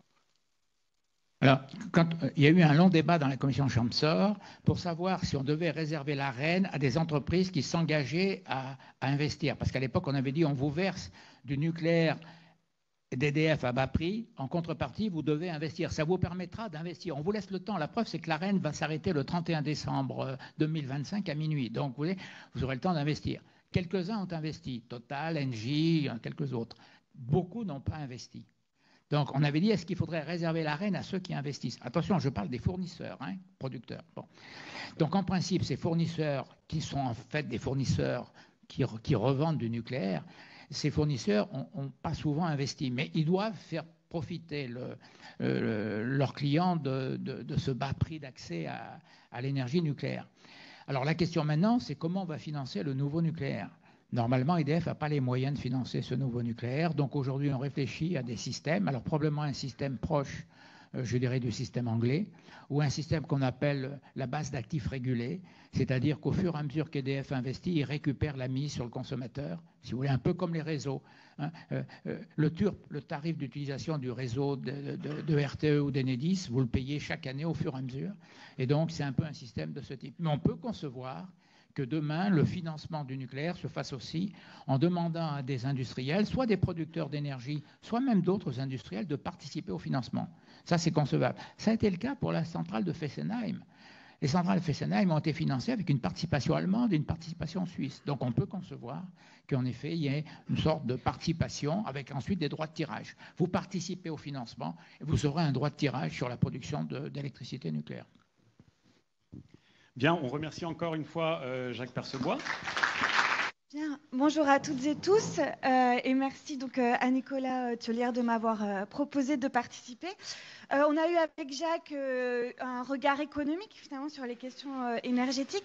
Là, je vous propose un regard plus sociologique et on va faire un focus sur l'énergie nucléaire en l'occurrence. Alors Jacques l'a bien précisé, hein, dans le débat énergétique, le nucléaire n'est pas voilà représente un pourcentage qui n'est pas majoritaire et pourtant on l'observe, hein, il concentre une grande partie des débats et des discussions. Et donc le sens de ma présentation, ça va être de revenir en fait sur l'histoire du nucléaire français euh, pour comprendre et pour, avoir des clés de, compréhension de euh, la situation euh, du nucléaire actuel. Alors, euh, on l'a dit, hein, euh, on a des débats euh, sur les politiques énergétiques qui sont particulièrement vifs aujourd'hui, en lien avec les urgences climatiques, mais aussi du fait des crises qu'on a traversées à la fois sanitaires, militaires, et on observe des tensions, voire des antagonismes qui sont extrêmement forts entre des contraintes de disponibilité, de décarbonation, des contraintes de sécurité stratégique ou encore de coûts socialement acceptables qui sont particulièrement fortes. Et pour certains, et de plus en plus nombreux d'ailleurs, euh, le nucléaire constitue euh, un outil de choix finalement pour faire évoluer euh, les mix électriques dans le sens d'une réponse à la demande massive des, des citoyens en énergie abordable, mais aussi dans le sens du respect d'engagement climatique. Et euh, cette question, euh, elle est particulièrement euh, prégnante en France, compte tenu de notre relation très singulière et certains, diront exceptionnelle au nucléaire. Et il semble important justement de revenir peut-être sur cette histoire et sur les raisons de cette relation si particulière au nucléaire. Alors, euh, vous l'avez noté, hein, il y a une attention qui est très élevée du public des médias, mais aussi des académiques hein, sur euh, les questions nucléaires et qui sont des objets d'étude de choix, en l'occurrence, euh, parce que ce sont des champs qui sont particulièrement contestés. Alors, ce qui peut être un problème, hein, parce qu'on a finalement des débats qui sont extrêmement polarisés, des, des, oppositions binaires entre pro et anti qui ne sont pas toujours très, très nuancées, et parfois une obligation, un appel des académiques eux-mêmes à se définir comme pro ou anti, ce qui euh, n'est pas du tout le sens de notre démarche et pas nécessairement euh, ce dont on a envie. Donc au contraire, hein, nous on cherche plutôt euh, à défendre une position neutre et à comprendre finalement tous les enjeux, à la fois de sûreté, de durabilité, des enjeux géopolitiques, des enjeux liés au changement climatique qui traversent cette question nucléaire. Donc, finalement, euh, l'approche euh, en sciences sociales et notamment l'approche sociologique, ça va être de questionner euh, un certain nombre d'évidences. Et la première évidence, c'est finalement que la qualité nucléaire d'un lieu, d'une activité, d'une technologie, elle serait liée uniquement à ses propriétés physico-chimiques ou au taux de radiation qui sont liés, par exemple, à cette activité. c'est la question finalement de ce qu'on va appeler la nucléarité. Or, euh, ce que les travaux en sciences sociales ont montré, c'est que finalement le caractère nucléaire euh, d'un lieu, d'une activité, il est très situé dans le temps et dans l'espace. Je vais vous prendre un exemple. Euh, au moment de euh, la guerre en Irak en 2003, le gouvernement américain considérait que le Niger, la Namibie ou encore le Gabon, qui fournissent 25% euh, du combustible du yellow cake utilisé dans nos centrales nucléaires, ne, comportaient pas d'activité nucléaire, n'étaient pas labellisés comme des pays ayant des activités nucléaires. En revanche, l'Irak, qui, qui importait du yellow cake, était considéré comme un pays ayant des activités nucléaires. Donc on voit bien que c'est ce label n'est pas lié euh, à la présence uniquement euh, d'uranium. Et euh, plus proche de nous, il y a des débats actuellement sur la catégorisation des déchets TFA, par exemple, de très faible activité, comme déchets nucléaires ou ou, euh, ou conventionnelle. Et donc, on voit que euh, même le caractère finalement exceptionnel ou banal, entre guillemets, du nucléaire est très contesté. À l'origine du nucléaire, et on va y revenir, ce sont les industriels eux-mêmes qui insistaient sur l'exception du nucléaire, euh, pour des raisons politique, c'est-à-dire pour s'affranchir d'une tutelle du Parlement et négocier directement avec l'exécutif. Puis ensuite, ce sont les associations écologiques qui ont mis en avant l'exception nucléaire du fait des risques hein, qui faisaient courir à la population. Et à ce moment-là, les industriels, au contraire, ont cherché à insister sur la banalité finalement du fait nucléaire, qui était une industrie comme les autres, et la radioactivité quelque chose de naturel. Alors, la France, euh, c'est un cas extrême et euh, on va bien voir finalement ce qui nous intéresse, nous, c'est-à-dire euh, les dimensions, à quel point l'objet nucléaire est quelque chose, est un objet sociotechnique au sens où la technique est étroitement imbriquée avec les dimensions sociales, c'est-à-dire les humains qui vont exploiter, maintenir les installations, question de compétences, des jeux d'acteurs, et avec des dimensions essentiellement politiques. Et tout au long finalement de l'histoire, vous allez voir comment le choix des filières, le choix d'une technologie, plutôt euh, qu'une autre ne relève pas d'un calcul et d'une comparaison euh, purement technique, mais de, euh, choix politiques. Alors, la France, dans le paysage électronucléaire mondial, elle est souvent décrite comme une exception et on peut s'interroger sur cette, exceptionnalité. effectivement, au premier abord, le cas français y paraît très singulier, un peu extrême. D'abord, de par euh, la part euh, du nucléaire dans la production d'électricité, ça a été dit. En 2021, on était à 69 et puis, euh, alors, euh, dans les meilleurs, entre guillemets, on était euh, pas loin de 80% de part d'électricité d'origine nucléaire. Donc, on voit que ça, c'est quand même une singularité et ça fait de la France le pays le plus nucléarisé au monde hein, et de loin du point de vue de la part d'électricité d'origine nucléaire. Ensuite, le cas français, il est singulier et ça, vous allez le voir à travers la présentation parce que finalement, tout l'écosystème nucléaire en France, il repose sur un petit nombre d'acteurs. Et ces acteurs, hein, on a parlé beaucoup euh, d'électricité de France, d'EDF, eh bien, euh, ils ont peu évolué finalement euh, au cours du temps. On retrouve les acteurs historiques, EDF et le CEA, et finalement, on voit que, et on en reparlera, tout le nucléaire repose sur un système d'acteurs qui est resté relativement stable au fil du temps.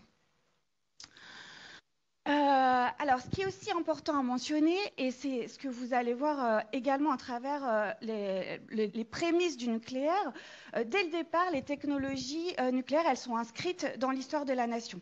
Et même dans les discours et la façon dont les politiques vont présenter les premiers réacteurs, en les présentant comme des cathédrales qui vont contribuer au rayonnement de la France, eh bien, on voit que le nucléaire participe de la construction de l'identité nationale et aussi du fait, et là on retrouve trouve des liens étroits entre nucléaire civil et nucléaire militaire au fait de s'indépendantiser de toute tutelle et notamment euh, d'une tutelle euh, euh, américaine. Et cette histoire qui est très riche, on verra aussi qu'elle n'a rien de linéaire, elle est ponctuée de pics et de creux d'activité, de luttes d'influence, de conflits, qui vont contribuer à faire du paysage français un paysage très singulier. Alors, on va revenir donc euh, sur les prémices euh, du nucléaire et euh, on peut faire débuter cette histoire nucléaire française avec la création dans la France d'après-guerre du commissariat à l'énergie atomique, le CEA, sous l'impulsion du général de Gaulle. Et finalement, dès l'origine, je le disais, hein, nucléaire civil et nucléaire militaire sont étroitement liés, car derrière la volonté de développer des réacteurs pour produire effectivement de l'électricité ou à des fins médicales, ben, il y a aussi l'objectif finalement d'arriver à isoler du plutonium et euh, de posséder la bombe nucléaire.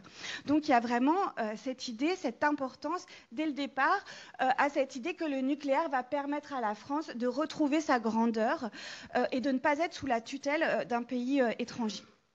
Et donc, dès l'origine, hein, le CEA, euh, il obtient un statut un petit peu particulier euh, que les organisations nucléaires, de fait, vont conserver assez longtemps, hein, spécifiant qu'il ne rend compte qu'au Premier ministre et donc, de fait, euh, échappant et écartant d'emblée le, Parlement.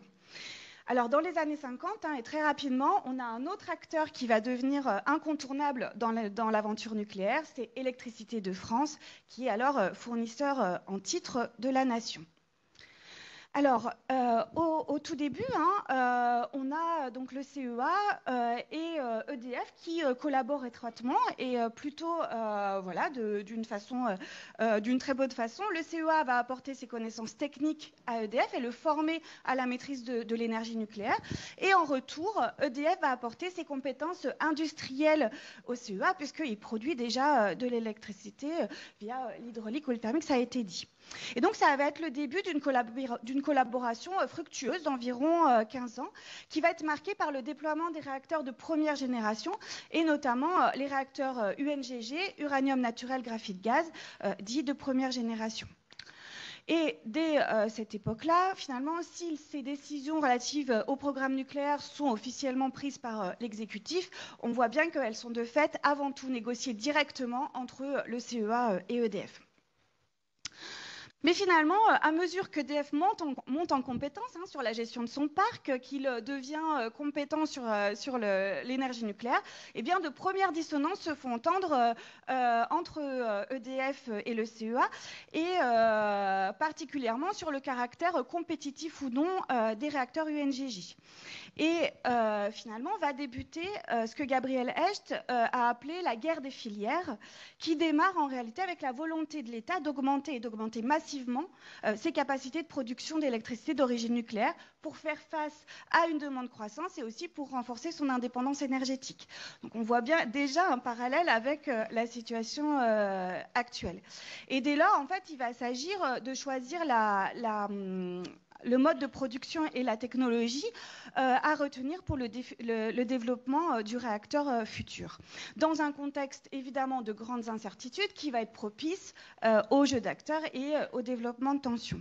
Et ce qu'on observe, c'est que chacun de ces grands acteurs va défendre un modèle bien particulier et un modèle qui révèle finalement la façon dont il conçoit le rôle du nucléaire dans la nation, mais aussi la façon dont il conçoit le rapport entre technique et politique. EDF va défendre un régime qu'on peut qualifier de nationalisé. Et ce qui va primer pour EDF, euh, et c'est pour ça qu'il va défendre une technologie euh, de réacteur à eau pressurisée, une technologie qui est euh, de licence américaine, donc qui n'est pas française, en mettant en avant une logique économico-industrielle, le fait que ces réacteurs, finalement, ont un rendement meilleur et donc permettront à EDF de remplir sa mission de service public au mieux, c'est-à-dire de fournir de l'électricité euh, au plus grand nombre et au meilleur coût. Et donc là, on a bien un focus de la part d'EDF sur l'efficience économique. Le CEA, lui, défend un modèle plutôt euh, nationaliste. Lui, ce qui prime, voilà, c'est l'excellence technologique au service de la grandeur de la France. Il considère qu'on a déjà acquis euh, une expérience et qu'on a fait les preuves de cette expérience à travers euh, la construction des, réacteurs UNGG. Et donc, il souhaite finalement pouvoir conserver le leadership et la mainmise sur la maîtrise des technologies et une, une technologie qui serait purement française. Et comme je le disais, ça s'incarne aussi ces deux modèles dans un rapport aux politiques différent. Euh, le CEA, lui, euh, conçoit de discuter et d'échanger euh, avec le politique. Alors que DF, lui, dès le départ, hein, par la voix de, son directeur, annonce qu'il ne souhaite pas se mêler de politique. Et quand il dit qu'il ne souhaite pas se mêler de politique, bah, il souhaite aussi pouvoir être relativement indépendant d'une tutelle politique. Alors cette guerre, hein, elle va durer quand même près de, près de trois ans. Et finalement, euh, au bout de ces trois ans, euh, elle va euh, être arbitrée et un accord va être trouvé entre Marcel Boiteux, donc le PDG d'EDF à l'époque, et Robert Hirsch du CEA. Et en 69, donc l'exécutif, par la voix du président Georges Pompidou, va trancher en faveur de la technologie REP. Hein. Donc tous les réacteurs qui équipent aujourd'hui le parc français, dit de seconde génération, réacteurs à eau pressurisée. Et cette décision va être fondée sur des arguments avant tout économiques euh, et industrielle. Et donc, avec cette décision, hein, qui est vraiment euh, très importante euh, dans l'histoire du nucléaire français, le nucléaire va passer d'un stade pré-industriel qui était fait de tâtonnements, de recherche, d'expérimentation, à un stade industriel où le souci va vraiment être la rationalisation et, l'optimisation. Et donc, quelques années plus tard, hein, démarre le programme CP0 qui va marquer les débuts d'un déploiement massif du nucléaire civil en France. Donc, euh, ce programme nucléaire, qui était décidé fin des années 60, euh, euh, bien amorcé, il va s'accélérer au début des années 70. Et là encore, on peut faire un parallèle avec la situation actuelle, avec d'une part la nationalisation des hydrocarbures algériens et la volonté donc de l'État français de se libérer de sa dépendance aux hydrocarbures algériens. Et puis ensuite, deux ans plus tard, le choc pétrolier, qui va renforcer donc ces arguments de, volonté d'indépendance. Et donc, euh, on va euh, débuter euh, le déploiement massif du nucléaire en France. Et vous voyez ici, voilà, les différents paliers. Donc, on va, on va suivre une logique de palier, j'y reviendrai. Et finalement, en moins de 20 ans, arriver à déployer les 58 tranches. Alors, je vous propose juste d'écouter Marcel Boiteux qui revient sur cette période et le démarrage de ce programme. Ah, Ces élèves qui ont su construire les centrales en question le deuxième tour de force est au moins aussi grand, et les gens n'en rendent pas compte, c'est de transformer des anciens conducteurs de centrales thermiques à charbon ou à fioul et des étudiants en chair de centrale, et ça a marché. Mais l'atome ne s'est pas imposé sans heurts. On était soumis à des attaques extrêmement puissantes. Les épouses de nos ingénieurs dans les régions nucléaires recevaient des petits cercueils dans leur boîte aux lettres le matin, ce qui n'est pas agréable. Euh, dans les réunions d'information que nous faisions pour, euh, expliquer aux populations ce qui allait se passer, il y avait des troupes de choc, les gens en barre de fer, comme on voit dans les manifestations, pour nous empêcher de parler. C'était vraiment la guerre. Le directeur d'équipement, qui était plus spécialement visé, avait transformé sa maison de banlieue en château fort. Il y avait autour de sa villa un, couloir parcouru par des chiens pour se protéger. On, on sur une voiture blindée. Et en 77, mon appartement était plastiqué durement. D'ailleurs, on était dedans, c'est un miracle qu'on s'en sorti. C'était la guerre, les gens ne se rendent pas compte.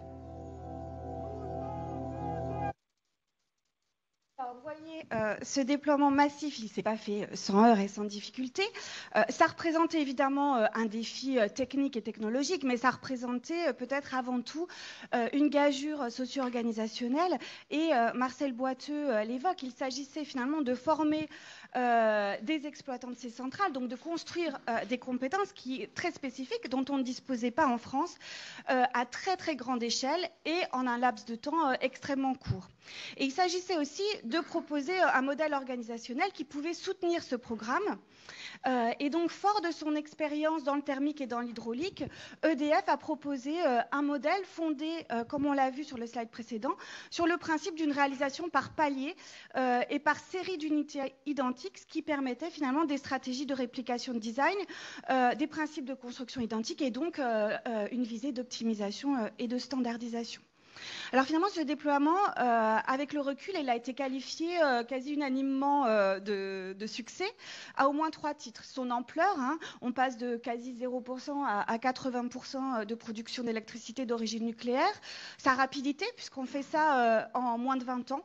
Et puis son caractère systémique, puisqu'on déploie finalement une capacité industrielle globale qui couvre l'ensemble du cycle, la production d'électricité, mais aussi la, la production du combustible en amont et le retraitement du combustible usé en aval. Alors, comment on peut expliquer euh, ce succès? Euh, il s'explique euh, avant tout, et Marcel Boiteux lui-même revient sur ces points-là, par le modèle organisationnel qui va être mis en place par, par EDF à l'époque, un modèle intégré où EDF en fait a un double rôle. Il est à la fois client, en tant qu'exploitant, et puis il est aussi fournisseur euh, et architecte ensemblier. Et ça, ça va lui permettre en fait de connaître à la fois le pourquoi on fait tel choix, on prend telle décision, mais aussi le comment. Et potentiellement, si le comment s'avère très compliqué, de pouvoir aussi revenir euh, assez facilement vers euh, les équipes de conception. Et puis surtout, et ça, il l'évoque quand il dit quand il dit que les idées nouvelles et géniales du fournisseur ou du maître d'œuvre étaient soigneusement rangées dans des chemises à exploiter plus tard, ça permet en fait de contenir l'innovation euh, au profit, au moins au départ, hein, de rentes d'apprentissage et d'économie d'échelle. Et finalement, c'est ça qui va euh, être clé dans le succès du programme à l'époque, hein. le fait qu'on adopte une technologie qui est déjà connue, déjà exploitée, alors certes au détriment d'une part de l'indépendance nationale, mais au profit euh, d'économies de R&D et d'apprentissage extrêmement forts, et aussi via une stratégie de, réplication par palier technologique, ce qui minimise grandement aussi les coûts de coordination. Alors, euh, au cours de la décennie 1980, on voit évoluer finalement le design de, ces réacteurs avec la volonté finalement à la fois des ingénieurs d'EDF et des ingénieurs de Framatome d'apporter des améliorations qui vont permettre de rendre les réacteurs, les REP, à la fois plus sûrs et plus, et plus puissants, d'intégrer les retours d'expérience des heures de fonctionnement des réacteurs déjà en place, et puis surtout de s'affranchir de la tutelle de Westinghouse. Donc on voit ici hein, ce souci permanent euh, des ingénieurs français euh, de franciser les réacteurs et donc le lien entre euh, identité nationale et énergie nucléaire. Donc le palier P'4, il est présenté comme une version francisée du design P4 de Westinghouse. Et puis le palier N4 qui est construit dans les années 90, donc les centrales de Chaux et de Civaux, est une, un design totalement français et donc il n'est plus sous licence américaine. Euh, mais finalement, ces années 1980, euh, elles sont aussi marquées par un fort ralentissement euh, du nucléaire dans le monde et en France, avec finalement l'atteinte d'une capacité limite en l'absence euh, euh, de, perspectives de renouvellement du parc. Voilà, on est encore euh, trop tôt pour envisager des renouvellements massifs. Et puis à ceci s'ajoute le désengagement à l'échelle mondiale d'un certain nombre de puissances nucléaires pour ces mêmes raisons de capacité, mais aussi face à des inquiétudes croissantes en fait quant à la sûreté des centrales nucléaires, inquiétudes qui sont nées principalement de deux accidents nucléaires. Hein. Le premier en 1979, donc fin des années 70, l'accident de Three Mile Island, qui a beaucoup frappé euh, euh, la France notamment, puisqu'on avait euh, exactement la même technologie, les REP, que celle de, de, Mile Island. Et puis en 1986, l'accident de Tchernobyl, alors qui a constitué un coup d'arrêt assez important à l'expansion du nucléaire. Et encore aujourd'hui, hein, l'année 1986 constitue le pic euh, de euh, construction, de, l'expansion de la construction de centrales. Et depuis, euh, on n'a jamais dépassé ce pic-là et on a eu tendance à, stagner, voire à décroître. Et donc finalement, la décennie 90, après une période d'euphorie, c'est une période plutôt de doute, hein, de doute très important pour, pour l'industrie nucléaire quant à son avenir. Elle a très peu de perspectives de nouveaux projets. le gouvernement en place lui offre très peu de perspectives. Et donc, certains parlementaires vont qualifier cette période d'hiver nucléaire euh, dans un rapport parlementaire, justement pour évoquer le fait que les ingénieurs euh, d'EDF et de Framatome sont euh, en réalité désœuvrés face à l'absence de projets de conception ou de construction. Donc on va en venir à l'époque plus actuelle et à l'émergence un petit peu douloureuse, il hein, faut quand même le dire, d'un nouveau nucléaire en France, avec les projets dont vous avez entendu parler, et puis la question des organisations et des compétences. Alors, dans les années 2000, hein, euh, le ciel semble un petit peu euh, s'éclairer euh, pour, pour les acteurs nucléaires français et ils ont l'espoir d'une possible renaissance nucléaire autour de la rhétorique justement du nouveau nucléaire qui est motivée par différentes raisons.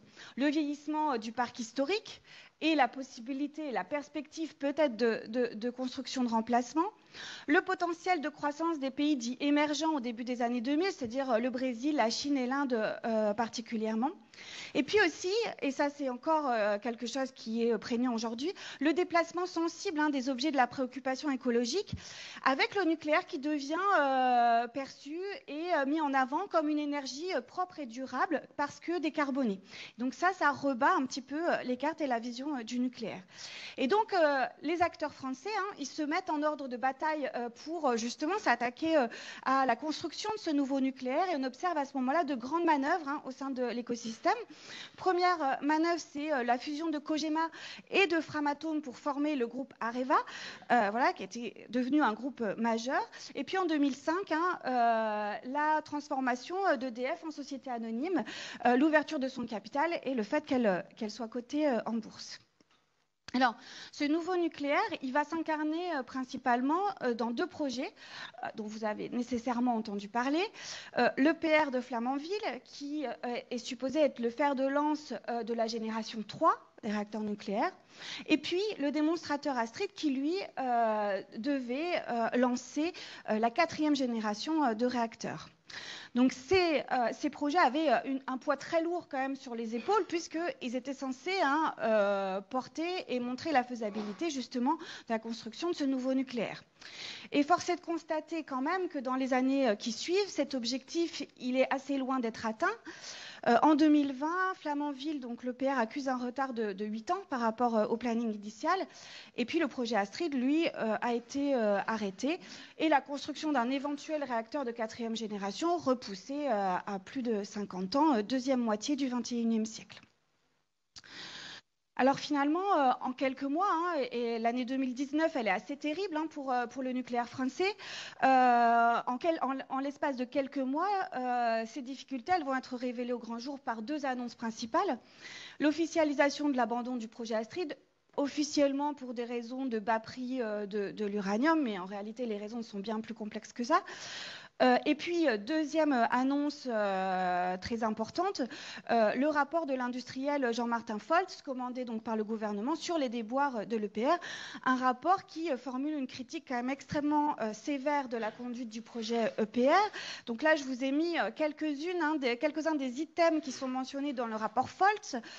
une estimation initiale irréaliste, une kyrielle d'événements négatifs, une gouvernance de projets inappropriée, des équipes de projet à la peine ou encore une perte de compétences euh, généralisées.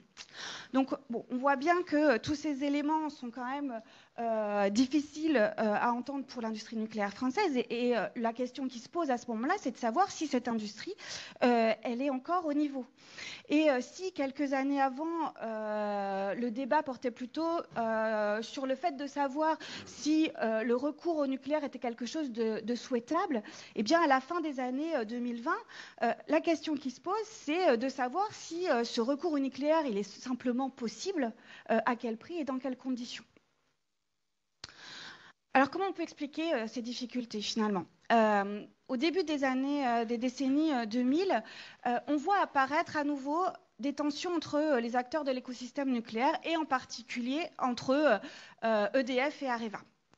Euh, alors ces tensions hein, entre les, organisations nucléaires en France, elles ne sont pas nouvelles, on en a parlé au moment de la guerre des filières, il y a eu aussi euh, un certain nombre de tensions. Mais là, elles se déroulent euh, dans un cadre qui est particulier, avec, certains, avec certains qui ont mis en avant finalement l'absence ou en tout cas la moindre présence de l'État et d'un État qui serait à la fois en capacité d'arbitrer et d'être stratège, c'est-à-dire de donner une vision à long terme. Et là, finalement, ce qu'on observe, c'est que les acteurs du nucléaire euh, souffrent de l'absence euh, d'une planification à long terme de la part du gouvernement et donc ont du mal à s'engager euh, dans, des recrutements et, dans une reconstruction finalement de tout le tissu industriel qui serait nécessaire finalement pour construire ce nouveau nucléaire. Et c'est ce que précise d'ailleurs un rapport de la Cour des comptes en 2020 qui dit que finalement les rivalités entre les deux groupes publics nationaux EDF et Areva, non arbitrées par les autorités publiques de l'époque, se sont traduites par une surenchère dangereuse pour la filière nucléaire française. Cette surenchère, par exemple, c'est celle qui a consisté pour chacun de ces acteurs et sur chacun des EPR Olkiluoto en Finlande pour euh, pour Areva, euh, le PR Flamanville euh, en France, d'annoncer des délais de construction euh, de 4,5 à, à 5 ans, donc des délais de construction totalement intenables et totalement déconnectés de la réalité du, tissu industriel et des capacités françaises de l'époque.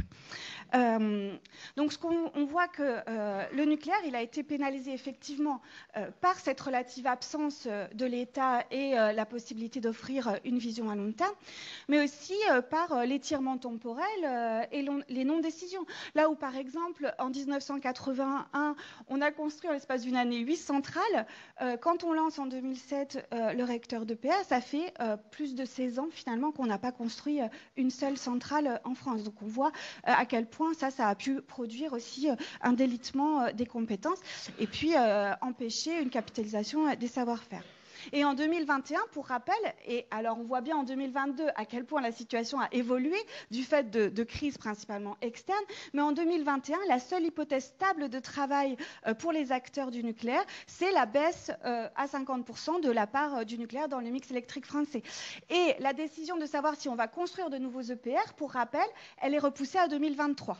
On voit à quel point le, paysage a changé rapidement, puisque là, maintenant, en 2022, on a eu des annonces très fortes, mais en 2021, on était encore à ce moment-là. donc le démarrage finalement de cette deuxième vague hein, de génération 3, elle est radicalement différente de la première. Alors, qu'est-ce qu'on peut finalement euh, conclure euh, de ces différents débats? Qu'est-ce que ça nous apprend pour la, situation euh, actuelle?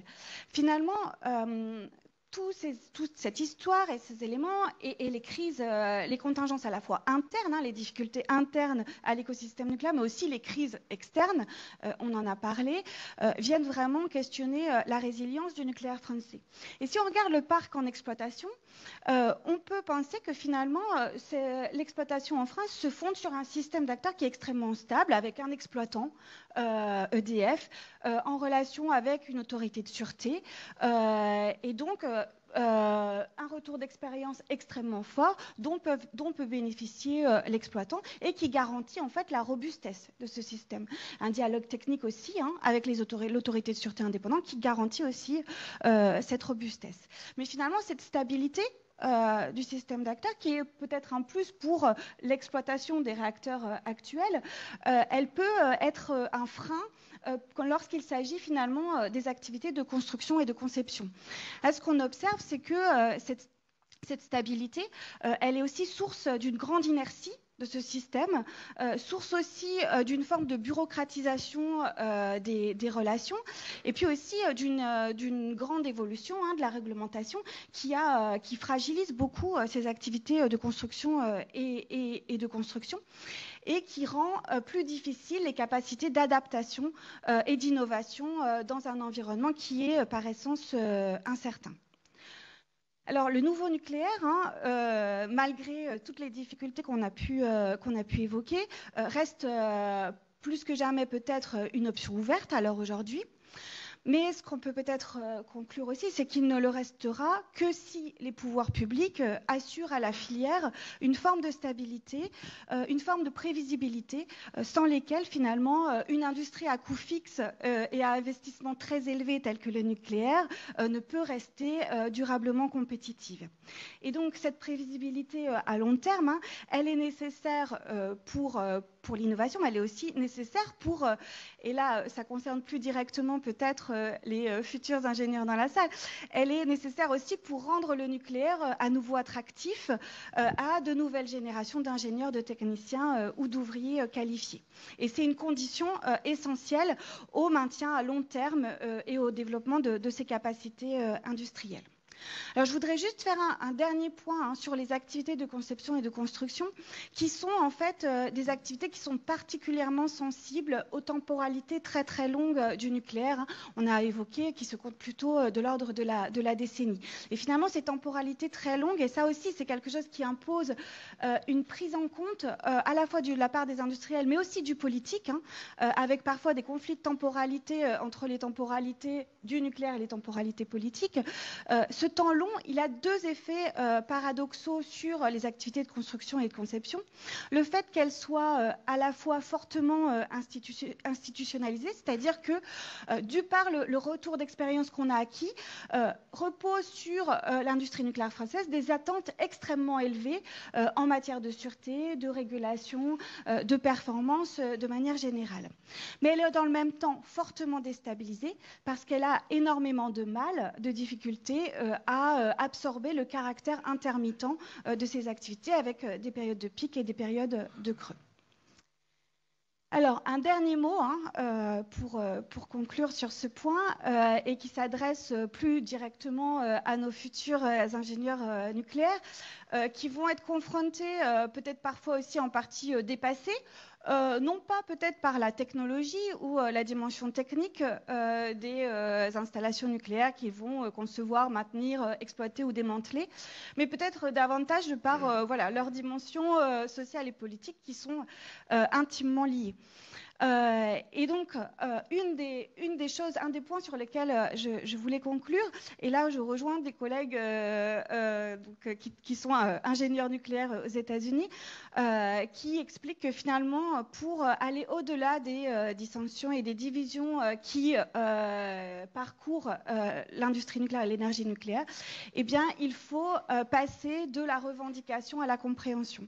Et donc, je pense que c'est particulièrement important de toujours chercher, euh, non pas euh, voilà, à avoir une position euh, fondée sur des arguments d'autorité, mais à vraiment comprendre le fonctionnement des, des organisations, des installations nucléaires dans toute leur complexité, ce qui implique, et c'est mon second point, de prendre en compte dans les décisions et dans les actions l'ensemble des, dimensions, qu'elles soient techniques, sociales, économiques ou encore politiques, des technologies nucléaires et puis de l'imbrication finalement euh, de, toute cette dimension. Voilà, je vous remercie beaucoup pour votre attention. Et juste pour conclure, je, fais un peu de pub. On organise un colloque dans le cadre de la chaire Réseau Recherche en Sûreté Organisation Homme le 10 novembre prochain. Et donc, vous êtes cordialement invités à participer à ce colloque. Merci beaucoup.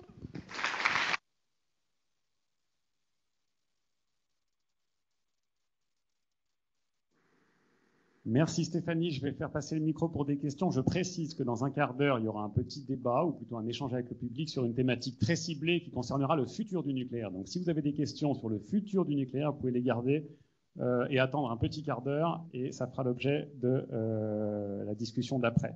Donc sur la présentation de Stéphanie et les thématiques euh, qu'elle a, qu'elle a ciblées et cadrées, est-ce que vous avez des questions ou des commentaires?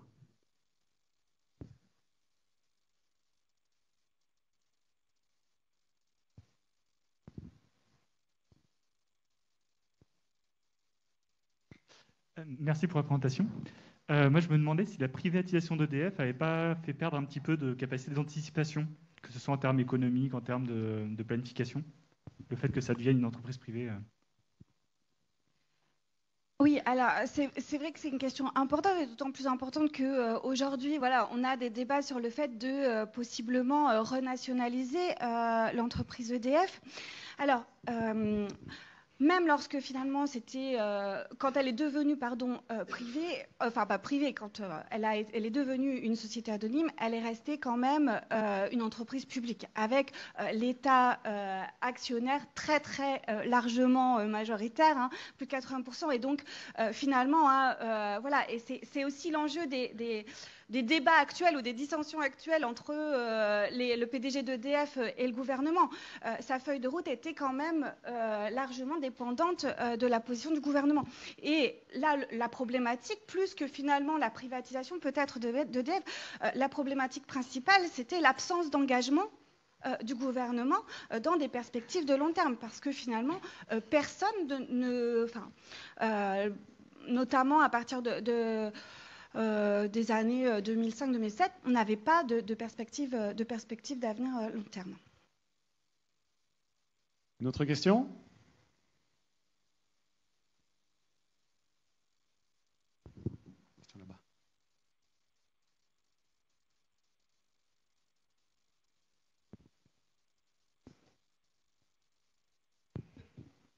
Bonjour. Merci pour votre présentation. Euh, du coup, le nucléaire, aujourd'hui, c'est surtout un enjeu technique et politique où il y a encore besoin de convaincre la population, il y a encore des réticences? Alors, c'est compliqué, ça rejoint euh, toutes les questions en fait euh, d'acceptabilité sociale que nous, voilà, sociologues, on n'aime pas trop aborder. alors, très sincèrement, euh, je ne saurais pas. Alors, il y a un baromètre hein, qui est fait euh, chaque année par l'IRSN, euh, justement sur cette question-là, de voir l'opinion française sur ces questions nucléaires.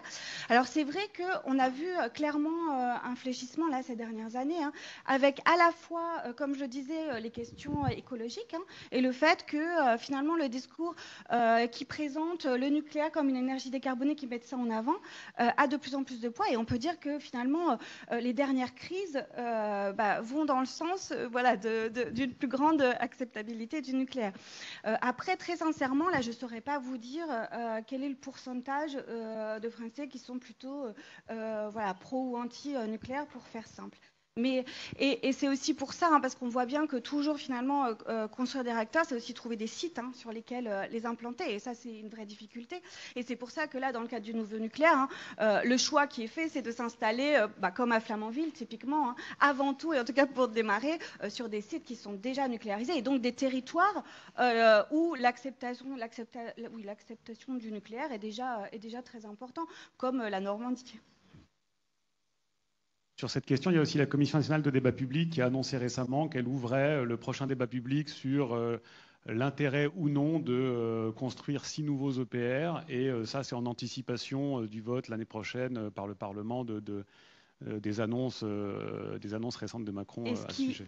ce qui est une première, puisque jusqu'à présent, hein, c'était uniquement les questions relatives aux déchets nucléaires qui étaient débattues au Parlement dans le cadre de la loi Bataille. Et là, on va débattre effectivement de la construction de nouveaux réacteurs. Et ça, c'est une, une petite révolution. On prend encore une question? Ouais? Là-haut? Ah.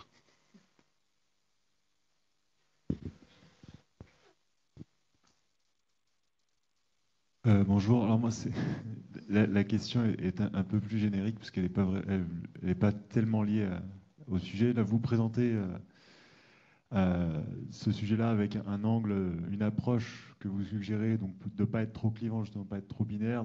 c'est aussi une, opinion qui personnellement, que personnellement j'accepte sur, le, sujet du nucléaire.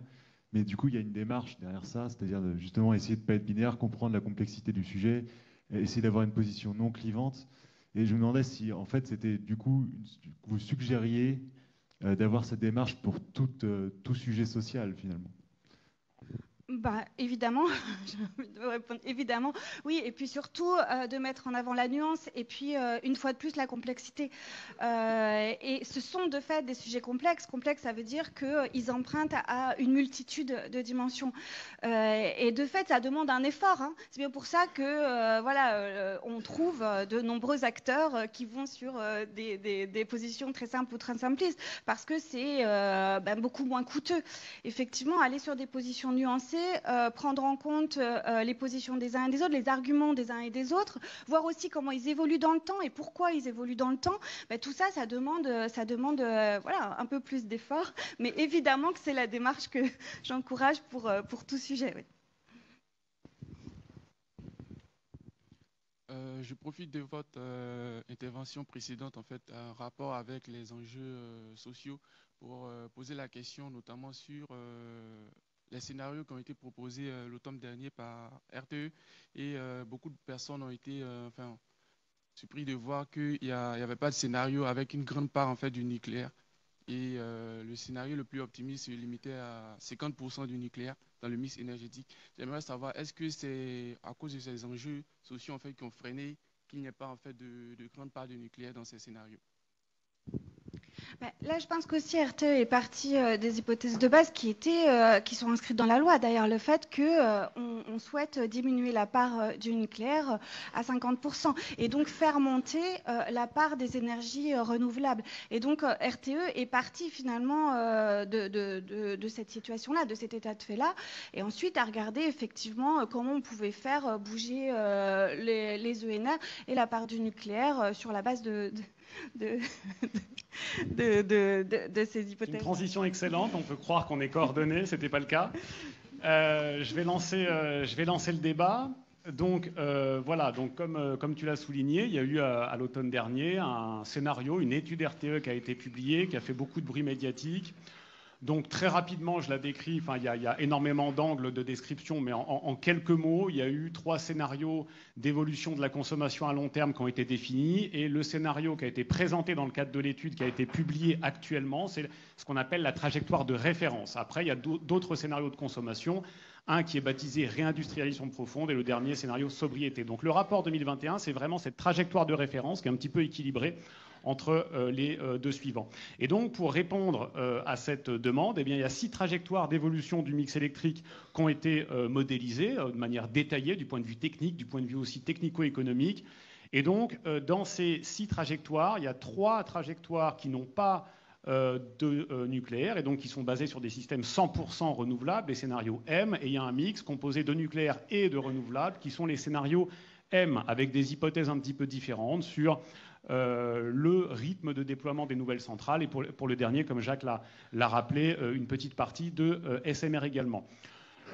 La conclusion principale de ce rapport, celle dont on a beaucoup parlé dans la presse, c'est liée à cette figure qui représente les coûts complets annualisés des scénarios à l'horizon 2060. Donc les coûts complets, ça prend en compte absolument tous les coûts ramenés à la durée de vie de, l'appareil. Donc là, ils ont fait une moyenne entre 2020 et 2060. Et donc, on voit que ces coûts sont légèrement supérieurs pour les scénarios M euh, par rapport au scénario N, mais en réalité, euh, l'écart est tel que c'est très difficile de discriminer entre les deux familles de scénarios.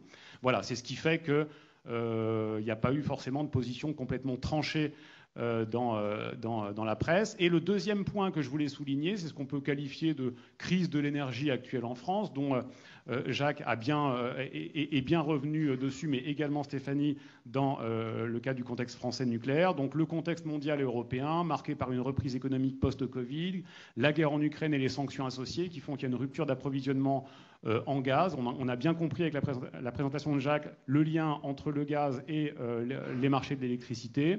Et le contexte français qui lui aussi est particulier avec des reports des arrêts programmés des réacteurs, puisque la durée de vie, euh, euh, l'âge moyen du parc aujourd'hui c'est à peu près 37 ans, donc très proche de la quatrième visite décennale, donc il y a beaucoup de réacteurs qui sont concernés. Ces euh, réacteurs, ont, donc les arrêts prévus ont été reportés liés du, fait, du fait de la crise du Covid. Et puis le deuxième point, c'est la mise en évidence récente de fissures par CSC, donc corrosion sous contrainte, hein, dont on a beaucoup parlé sur, les des tuyauteries des circuits d'injection de, de, sécurité. Et là, il y a 12 réacteurs actuellement qui sont concernés par ces CSC et donc qui sont à l'arrêt pour une durée un petit peu indéterminée. Euh, quelques mois, voire euh, potentiellement plus. Et donc tout ça, ces deux événements font qu'il y a une envolée des prix du gaz et de l'électricité sur les marchés de gros, dans un contexte où le nucléaire a une très faible disponibilité, et donc la thématique euh, du débat, donc des questions, des discussions, euh, sera la suivante. Quelles sont la place et le rôle du nucléaire dans la transition énergétique? Et ça rejoint un petit peu euh, ta question de tout à l'heure. Alors, est-ce que donc du coup, Bernd, tout à l'heure, tu avais une question que tu as gardée pour toi parce que je pense qu'elle rentrait dans le cadre de cette... Ouais. Que c'est directement sur le scénario RT. Euh, mais plus général, pour moi, il me manque dans la discussion une, vision de l'ensemble. C'est-à-dire, il y a quand même, je ne sais pas, quelques cinquantaines de, milliards d'euros à, réfléchir sur, le renouvellement de, la on, et ça n'a pas du tout à discuter, c'est-à-dire si, quelle, direction il faut prendre, qui va payer. Et euh, la deuxième question, c'est un peu associé euh, à cette euh, question de SMR, c'est-à-dire on a quand même plein de, de, euh, nouvelles idées côté gouvernement en ce qui concerne par exemple le, le start-up ou des choses comme ça pour, pour lancer le nucléaire, pour suivre un peu la, la, le chemin américain sur ça. Et comment, comment lier toutes ces choses-là, c'est-à-dire je vois que les, les trois ou les, six réacteurs qui sont en cours et qu'on on veut lancer, c'est quand même un, réveillement euh, du gouvernement, euh, même si, ça passe quand même avec des, discussions après, est-ce qu'on va le faire ou non.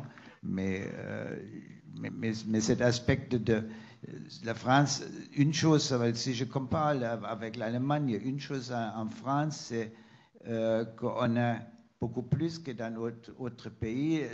Et ça, vous n'avez pas du tout en parlé, le, terme de souveraineté. C'est-à-dire, on parle le nucléaire, au minimum, si je suis côté CA, euh, le, terme qu'on on, on touche, euh, c'est la souveraineté. Comment, comment la France peut rester souveraine dans cette situation? Évidemment, dans le contexte européen, que tout ça, ça s'implique, mais aussi souveraine à la fois la France, souveraineté à la, question européenne. Ça implique ça pas seulement l'énergie, ça implique aussi les questions de, de, de matière, c'est-à-dire, de, de, par exemple, l'élément trace et des choses comme ça, les terres rares, de, euh, de, de, combustible et des choses. et, là, la HAC joue une rôle central dedans de tout ça. et ça on ne peut pas les exclure. Ce n'est pas simplement une question des réacteurs, c'est une question de cycle. Merci Bernd. Qui veut commencer à répondre? Oui, je peux, je peux prendre une partie de la question. Alors, le premier point, vous avez soulevé, si j'ai bien suivi, il y a un point sur euh, sobriété, donc quelle est la demande d'électricité en 2050 RTE est assez optimiste. Il pense qu'avec, je crois que c'est 645 TWh à l'horizon 2050, euh, si vous regardez le rapport de l'Académie des sciences, on est plus proche de 900. Certains considèrent que 645, avec le développement des usages électriques, ce sera probablement plus. Donc on est plutôt aux alentours de 750.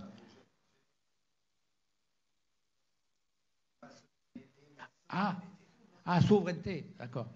Ah, souveraineté. Ah oui, alors la souveraineté, les, matières premières.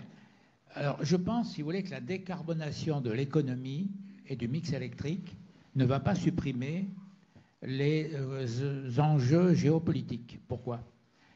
Alors, vous allez me dire, ben, dans le nucléaire, on importe de l'uranium. Oui, c'est vrai, avec quand même une différence importante. C'est que l'uranium, on le recycle, c'est qu'on a des stocks relativement importants et que avec les combustibles usés, on peut s'en passer pendant un certain temps. J'ajoute que la France a fait l'erreur d'arrêter le projet Astrid. Euh, personnellement, à l'époque, je me souviens, j'ai siégé 9 ans dans la CNE2, la Commission nationale d'études et recherches sur les déchets radioactifs et sur les nouvelles technologies. Nous étions très favorables au maintien d'Astrid. Les autres grands pays continuent Astrid, pour ceux qui font du nucléaire, la France, en disant qu'on n'a pas l'argent et que de toute façon on s'y intéressera plus tard. Astrid, la principale raison d'Astrid, c'est quand même de rendre indépendante la France à l'égard du combustible importé, hein, parce qu'on n'a plus d'uranium chez nous. Il y a d'autres avantages. La transmutation des déchets, c'est un peu plus ambigu. Hein. Bon, pour l'instant, personne n'y croit vraiment. Bon, très bien. Mais enfin, il y en a qui travaillent dessus. Mais euh, l'uranium, c'est important. Par contre, dans les renouvelables, il est très important de tenir compte de la dépendance à l'égard du cobalt, euh, de, tous ces produits stratégiques, terres rares, minerais stratégiques, qui ne sont pas chez nous et qui dépendent aujourd'hui. On dépend aujourd'hui largement de la Chine. Hein. Et donc, d'ailleurs, la Première ministre a dit il faut se préoccuper dès maintenant de constituer des stocks stratégiques si on veut développer les renouvelables avec les métaux rares, etc. Donc, je crois que ça, en effet, c'est un sujet relativement important. Hein, de, se préoccuper de, de, la dépendance demain. Parce qu'on parle de la dépendance à l'égard des fossiles, mais les nouvelles technologies renouvelables sont également génératrices de dépendance à l'égard de certains process. Oui, et peut-être juste un complément, parce qu'évidemment, euh, moi, euh, cette question du cycle, euh, ça évoque évidemment le, projet Astrid, avec cette idée, ce grand plan du CEA, hein, qui est présent en, réalité dès le départ d'un cycle fermé, avec la possibilité hein, d'utiliser en particulier le plutonium qui est produit dans les REP actuels comme possible combustible donc, des réacteurs à neutrons rapides sodium. Et donc Astrid était construit et, enfin, conçu dans, dans, dans cette optique-là. Euh, alors là, on voit effectivement hein, que, ces questions de souveraineté, alors moi je parle uniquement de la partie nucléaire, mais en tout cas, euh, ces questions d'un possible cycle fermé et de la mise au point euh, de RNR, elle est, elle est de très loin repoussée. Et c'est vrai que sur le, cas d'Astrid, je pense que aussi son, abandon, il peut être interprété sur un, problème d'alignement finalement à la fois temporel et, spatial. Astrid n'est pas arrivé, est arrivé sans doute un peu trop tôt, et en même temps, euh, c'était euh, très compliqué pour les acteurs du CEA parce que euh, là, avec l'arrêt de Phoenix, donc Phoenix qui était déjà un réacteur neutron rapide sodium en 2009, et eh ben, il devenait urgent finalement de redémarrer quelque chose autour des RNR sodium pour justement toujours hein, cette question de la gestion des compétences. et là, on voit bien que le CEA bah, se retrouve à nouveau dans une, dans une position très compliquée où ils ont fait, ils ont mis en place toute une démarche de, gestion des compétences hein, en se filmant, en filmant tous les ingénieurs du projet Astrid, euh, faisant des, vidéos pour expliquer aux futures générations peut-être, à des gens qui reverront euh, ce dossier, euh, comment finalement, voilà, quelles sont, essayer de transmettre au mieux les compétences. Mais on voit que c'est un vrai défi et que là, on a à nouveau, hein, effectivement, on n'a pas vraiment de, de perspective et de discussion sur ce point-là. Juste rajouter sur, qu'on a aussi parlé des nouvelles technologies, je crois qu'il faut avoir en tête que si la France se lance dans les SMR, c'est l'objectif d'exportation. Ce n'est pas pour utiliser ces réacteurs sur le sol français. Leur puissance est trop faible pour le sol français. C'est pour remplacer, pour faire simple, les centrales à charbon à l'échelle internationale. Alors maintenant, il y a une grande question qu'il faut poser quand même, c'est est-ce que l'industrie française a la capacité de construire beaucoup de réacteurs à l'horizon 2050 Parce que on dit souvent, euh, ça rejoint la question de monsieur tout à l'heure, en disant euh, finalement, on n'a jamais prévu un scénario qui prévoit plus de 50% de nucléaire à l'horizon 2050. Un des éléments de réponse, c'est que si on prévoyait plus, on n'est pas certain que l'industrie française puisse faire face. Parce qu'il faut des compétences. Parce que les réacteurs actuels, ben, une grande partie, euh, je dirais, sera déjà amortie. Il faudra, les arrêter. Et donc, il faut construire de nouveaux réacteurs. Donc, les 14, bon, ça va encore, mais est-ce qu'on peut en construire beaucoup plus 14, c'est 6 plus 8. Mais il faut déjà faire la preuve qu'on est capable de construire tous ces réacteurs, parce que pendant 20 ans, euh, l'industrie nucléaire française n'a pas construit. Et ça, c'est un handicap important. Bah, justement, j'ai une question en ligne qui est directement en lien avec ce que vous venez de nous expliquer. À quel point avons-nous perdu en expertise et en compétences en raison de l'hiver nucléaire et de la stratégie politique? N'est-ce pas un problème pour la place que l'on veut donner au nucléaire dans la transition énergétique? Ben, La réponse est oui, y compris dans la formation de base. Il suffit de regarder les promos. Moi, j'enseigne à l'école des mines de Paris. Il y a un master hein, dans lequel, euh, Master Rose, qui existe depuis 20 ans maintenant, ben, regardez les promos au, fil du temps les gens qui allaient dans le nucléaire, euh, je dirais, c'était pas, c'était très très minoritaire. Les gens vont dans les renouvelables, puisque c'est là, on leur explique que le nucléaire, c'est une énergie du passé et que l'avenir, c'est les renouvelables. Donc, euh, je dirais, déjà en amont sur la recherche ou sur l'expertise, les gens choisissent d'autres filières. Alors, qu'à l'échelle mondiale, ce n'est pas du tout le cas. Je pense que d'ailleurs, les contraintes actuelles sur les marchés d'électricité vont donner probablement un second souffle euh, c'est ce que j'allais dire, c'est pas inéluctable parce que là, on voit bien que pour le coup, euh, le nucléaire redevient attractif et donc euh, voilà, c'est possible de reconstruire ses compétences.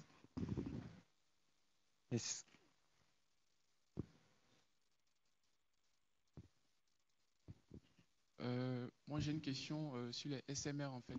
Aujourd'hui, quand on regarde en fait la ventilation du LCO en fait du nucléaire, on voit que les coûts de construction occupent une grande part. Et quand on fait un zoom en fait sur euh, le coût de construction, la raison, une des raisons qui ressort en fait, c'est le fait que euh, les technologies nucléaires ne peuvent pas être euh, standardisées entre guillemets. Est-ce qu'avec les, SMR en fait, on pallie à ce, cet inconvénient?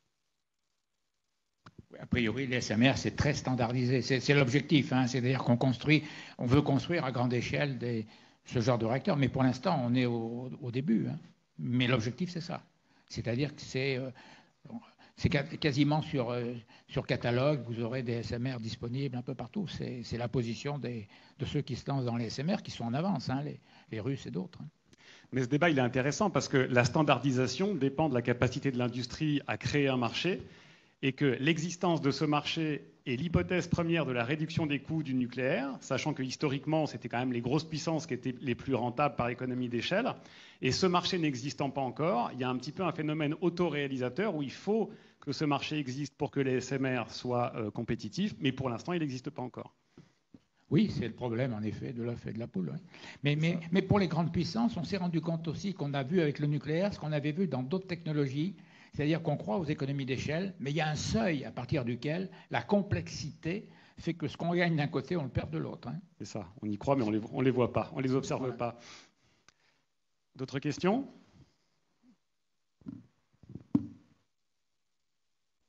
Euh, Moi, je me demandais justement, nous, merci. on nous parle beaucoup des SMR. Euh, ça en est où technologiquement en fait? Euh, J'arrive pas à comprendre à quel point c'est réalisable ou à quel point c'est. on nous parle tout le temps, mais c'est des effets d'annonce. Le calendrier de Neward, éventuellement? Oh, c'est pas pour tout de suite, hein, mais c'est lancé quand même. Non, les, ceux qui ont déjà des SMR sur barre chez les Russes, hein, ils ont des petits SMR à 35 MW, je crois, leurs deux SMR. Hein. Ça existe déjà Ça existe déjà, donc ça, ça, peut, aller, ça peut aller assez vite. C'est un peu clé en main, c'est un produit, euh, je dirais, de, dimension assez modeste. Alors, il y a beaucoup d'espoir mis là-dedans. Bon, euh, je ne sais pas s'il n'y a pas en effet un peu trop de trop d'espoir. Pour le projet français, Neward, c'est euh, euh premier béton 2032. Pour le projet français. Après, il y a eu un, le projet américain qui a, qui a passé les, les, steps de la régulation. Donc en fait, chaque pays, chaque pays aura un petit peu une avancée parallèle. Donc voilà, en France, en France c'est 2032, ce qui est annoncé. Mais nous, c'est deux fois 140 mégawatts, c'est ça 170. 170. Ouais.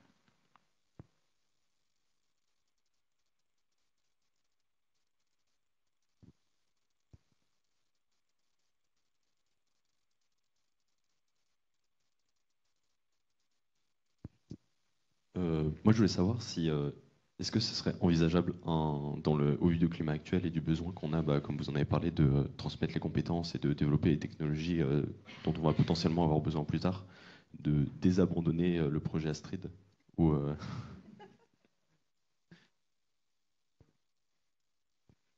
C'est un choix politique, si vous voulez. Ça a été un choix strictement politique. Hein. Donc, disant on n'a pas les moyens de, tout faire. Le problème, c'est qu'on reporte sans être certain que le moment venu, euh, euh, on fera nous-mêmes. C'est-à-dire qu'il se peut, ça peut se défendre comme thèse, il se peut qu'on fasse appel à d'autres. Finalement, on a la technologie Westinghouse, c'est une technologie américaine, on l'a francisée, on a choisi une, on a été dépendant. Dire Framatome, c'est la française euh, franco-américaine de l'atome, hein, ça veut bien dire ce que ça veut dire. Bon, donc si vous voulez, euh, bien sûr, ça peut se défendre. Peut-être que demain, on sera content que les Chinois nous donnent euh, une technologie ou qu'ils viennent nous aider à construire des réacteurs. C'est pas du tout impossible. Hein. Et puis ça peut se défendre. La seule chose, c'est que où est-ce qu'on met la, barre sur la souveraineté? Ça, c'est extrêmement important parce que là, on est dans un domaine, je dirais, très spécifique. Après, effectivement, je rejoins, c'est complètement euh, une décision politique. Et oui, ça peut, et du point de vue des compétences, évidemment que ça aurait du sens euh, de redémarrer euh, rapidement pour que ce ne soit pas perdu. Et si on regarde ce qui s'est passé sur l'histoire des RNR, en 97, le gouvernement Jospin décide d'arrêter Super Phoenix, qui était censé être hein, le premier de série, qui a fini un peu une cathédrale dans le désert, mais à la base, il devait quand même lancer une série. Et puis 2006, Jacques Chirac, lui, décide de lancer Astrid. donc il s'est passé finalement moins de dix ans euh, entre, les deux annonces. Donc tout est possible, mais effectivement, il faut que ça vienne des politiques. Merci Stéphanie aussi pour la, la, présentation. Il y avait une question, parce que je suis d'accord que le sujet est complexe, il y a beaucoup d'aspects, on ne doit pas être binaire, il faut en discuter. N'empêche qu'à la fin, soit on fait, soit on ne fait pas. Et la réponse est binaire, on ne peut pas faire un réacteur à 25%. C'est-à-dire, si on le fait, on ne le fait pas.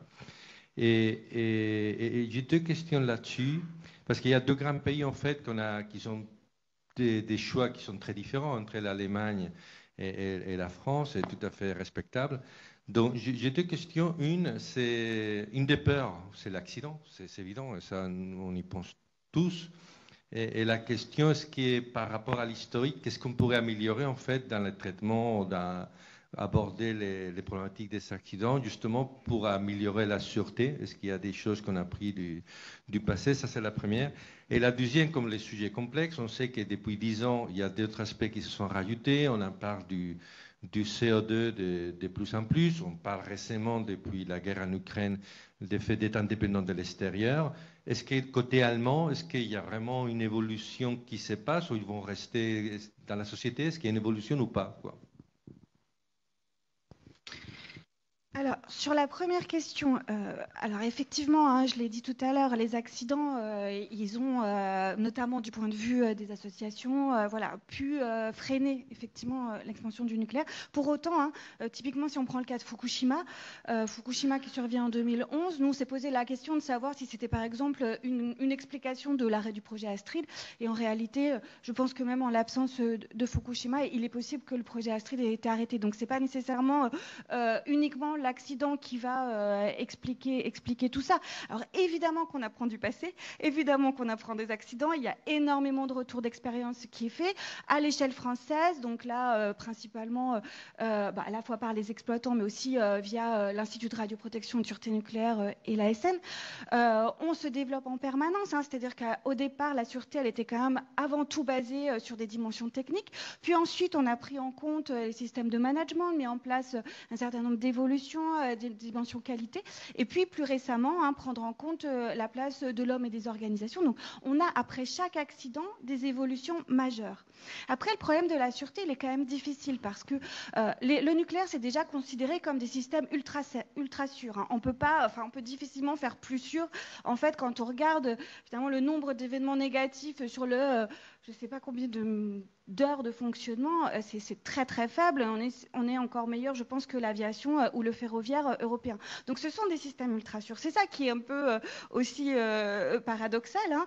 Et finalement, on peut se demander aussi, ça c'est une question tout à fait ouverte, hein, mais dans quelle mesure, là, tous les ajouts de sûreté, hein, le PR c'est le cas, hein, et d'ailleurs c'est une collaboration avec les Allemands à la base, mais on a imposé beaucoup, beaucoup, beaucoup, beaucoup d'exigences de sûreté. certains parleront de sursûreté. On peut se demander et ça certains sociologues en, l'ont évoqué finalement, à quel point, euh, à, un certain point, c'est pas contre-productif, parce qu'on on complexifie euh, énormément le système, on le rend beaucoup plus difficilement compréhensible. Et, voilà, c'est tout le débat. Est-ce qu'on peut rester sur un, design bon qu'on connaît, robuste, etc., sans porter trop d'amélioration, mais on sait que ça marche? Ou est-ce qu'on va vers des robustes beaucoup plus sophistiqués, mais potentiellement euh, on introduit Hein, voilà, des difficultés à les concevoir. Hein, ça, c'est le cas de. Et puis ensuite, sur la sûreté, se pose aussi, bah, en France hein, notamment, euh, euh, les rapports entre l'autorité de sûreté euh, et, et, les exploitants. Donc, dans le cadre du dialogue technique, on voit bien que cette autorité indépendante, c'est évidemment euh, extrêmement important. Et l'accident de Fukushima, typiquement, euh, a remis en cause le fait que justement, il y avait un manque d'indépendance euh, vis-à-vis des autorités. Pour autant, là, on voit bien hein, à quel point, finalement, on a un focus uniquement sur la sûreté. Or, dans le quotidien de toutes les activités, qu'on soit en exploitation, en construction, la sûreté, elle ne peut pas se penser indépendamment des, des, autres dimensions de performance industrielle, des coûts et délais ou autres. Et ça, c'est une vraie, vraie difficulté.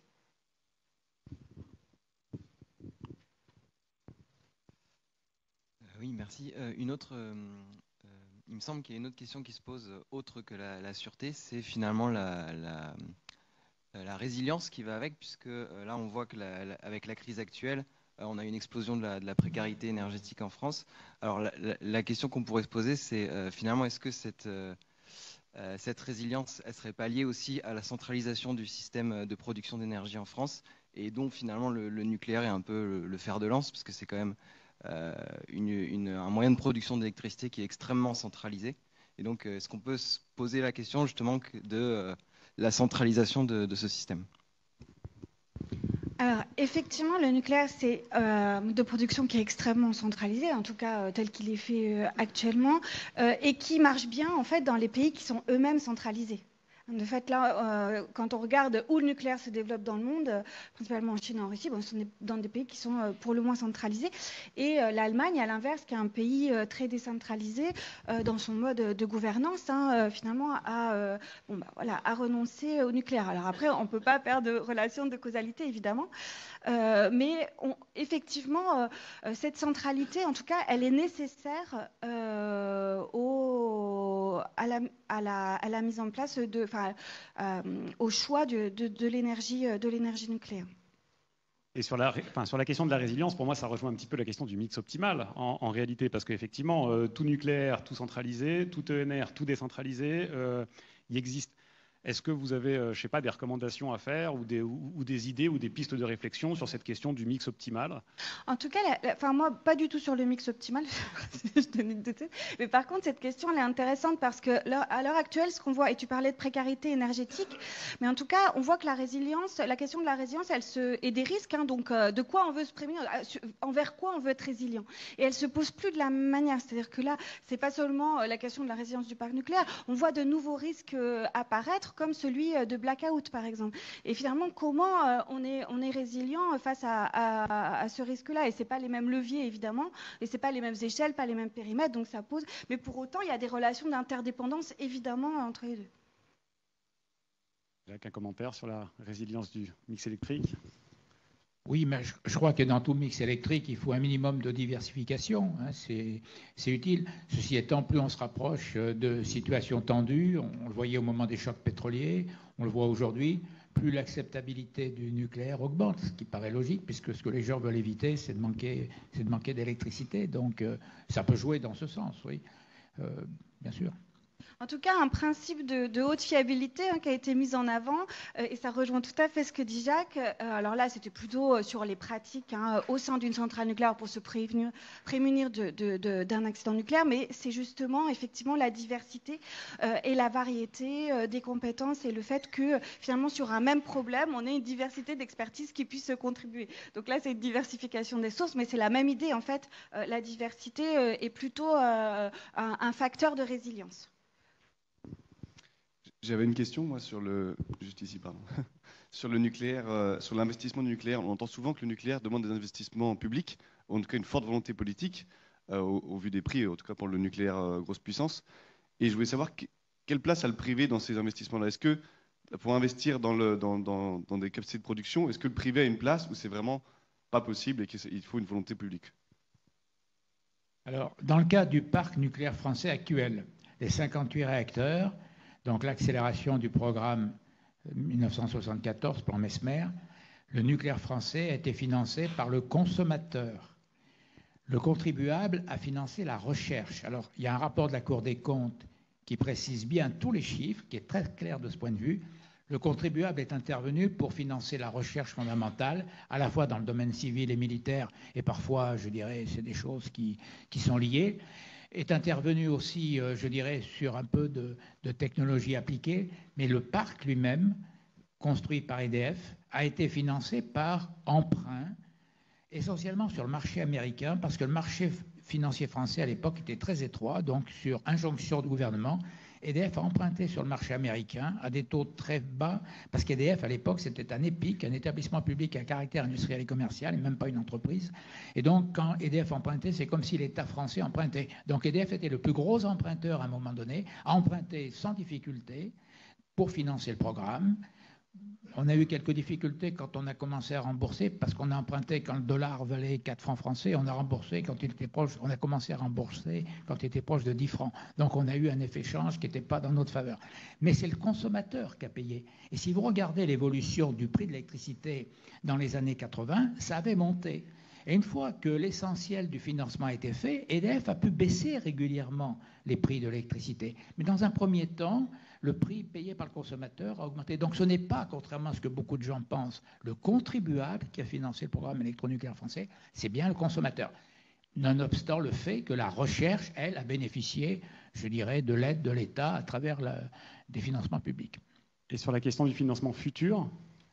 Alors, à mon avis, comme EDF ne sera pas en mesure d'emprunter euh, les quantités euh, qu'il faudra, il faut faire des montages. Alors, les montages, ça peut en effet L'État mettra la main à la poche, ça me paraît évident. La question, c'est est-ce qu'on fait appel au privé euh, Comment on fait pour éventuellement, euh, je dirais, financer, euh, en faisant participer des, opérateurs qui auront des droits de tirage? On peut aussi concevoir que si on met en place le système que les Anglais sont en train de proposer pour la centrale de Sizewell, pas celle d'Inkley le contrat pour différence dont j'ai parlé tout à l'heure, mais celle de Sizewell, c'est un système qu'on appelle la base d'actifs régulés, c'est-à-dire qu'on finance en quelque sorte au fil de l'eau.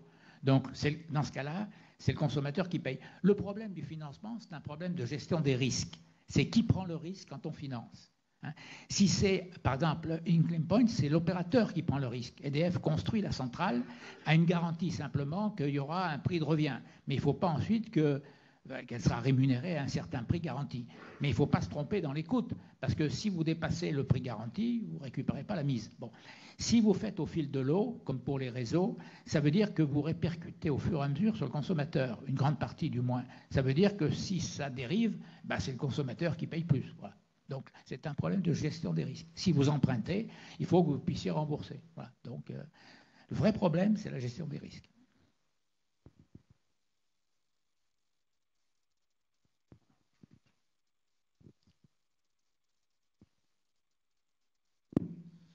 J'aurais une question par rapport au démantèlement. Quand on regarde euh, l'outre en Allemagne, il y a deux cas de figure, deux cas d'école, donc la centrale de Rheinsberg où le minimum 500 millions pour euh, démanteler, ou encore euh, celle qui est basée donc en ex-Allemagne de l'Est, où après 30 ans de démantèlement, le nouveau budget est annoncé à 7 milliards d'euros sur la table. Comment est gérée en France la question du démantèlement? Et surtout comment les acteurs du nucléaire et l'État français se préparent à ce démantèlement dans les années et décennies à venir. Surtout quand on regarde qu'en Allemagne, les pronostics de l'État fédéral pour 60 ans d'activité dans la filière nucléaire allemande est estimé à 200 milliards d'euros pour le coût de stockage de ces matières radioactives. Alors, il y a démantèlement. Si vous voulez, le démantèlement en France, c'est la responsabilité de l'opérateur. Donc EDF constitue des provisions qui sont placées euh, en bon père de famille. Hein, il ne s'agit pas de spéculer en bourse. Donc vous avez des provisions et normalement ces provisions doivent vous permettre le moment venu de faire face au démantèlement. Alors évidemment, il y a toujours un risque de savoir si ce sera suffisant. Mais on a estimé, EDF a, des provisions. Ce n'est pas l'État. Il y a des pays en effet où euh, l'opérateur peut se défausser sur l'État. C'est le cas aux États-Unis. C'est-à-dire moyennant une soulte, c'est en quelque sorte l'État qui reprend la main, mais vous lui versez évidemment euh, un montant. En France, c'est bien l'opérateur qui est en charge. Donc, certains considèrent que les provisions pour démantèlement ne sont pas suffisantes en disant, euh, quand on regarde les chiffres que vous prévoyez pour le démantèlement, c'est d'ailleurs un sujet qui est abordé dans le bouquin qu'on écrit avec, avec Nicolas, si vous regardez les provisions, vous verrez qu'en France, c'est un peu moins qu'aux États-Unis. Alors la réponse d'EDF, c'est comme on a standardisé la construction des centrales, on peut standardiser la déconstruction des centrales. Donc on a des chiffres en effet un petit peu plus faibles que les Américains. Mais il y a une explication aussi, c'est qu'aux États-Unis, les, types de centrales sont très différents d'un opérateur à l'autre, donc les coûts sont différents. Ceci étant, il y a déjà aux États-Unis des centrales complètement démantelées, et finalement, ça prouve qu'on est arrivé à, à financer ce démantèlement. Ça n'a pas été exorbitant, si vous voulez. Hein. Donc, euh, euh, bien sûr, euh, il y a le risque que le démantèlement coûte plus cher que, ce qui était prévu, mais normalement, ce n'est pas, pas le contribuable qui paiera, c'est le consommateur qui paye dès maintenant, puisque c'est prévu dans les provisions d'EDF. Euh,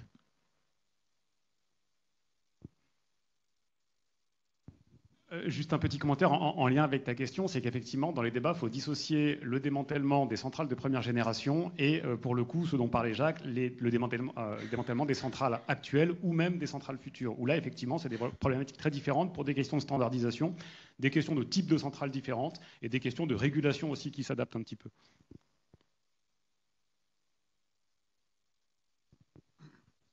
Oui, j'ai encore une question au sujet de la des Astrid et des, EPR et des choses comme ça. Comme j'ai compris euh, que les nouvelles générations des EPR sont, pas, celles qui, plus ou moins, sont capables de, de euh, en cas d'accident grave, de maintenir, d'éviter qu'il faut avoir une évacuation de la population. C'est-à-dire tout, tout le, le, cœur des réacteurs reste euh, confiné malgré le fait qu'il y a un accident les, EPA actuels ne permettent pas ça.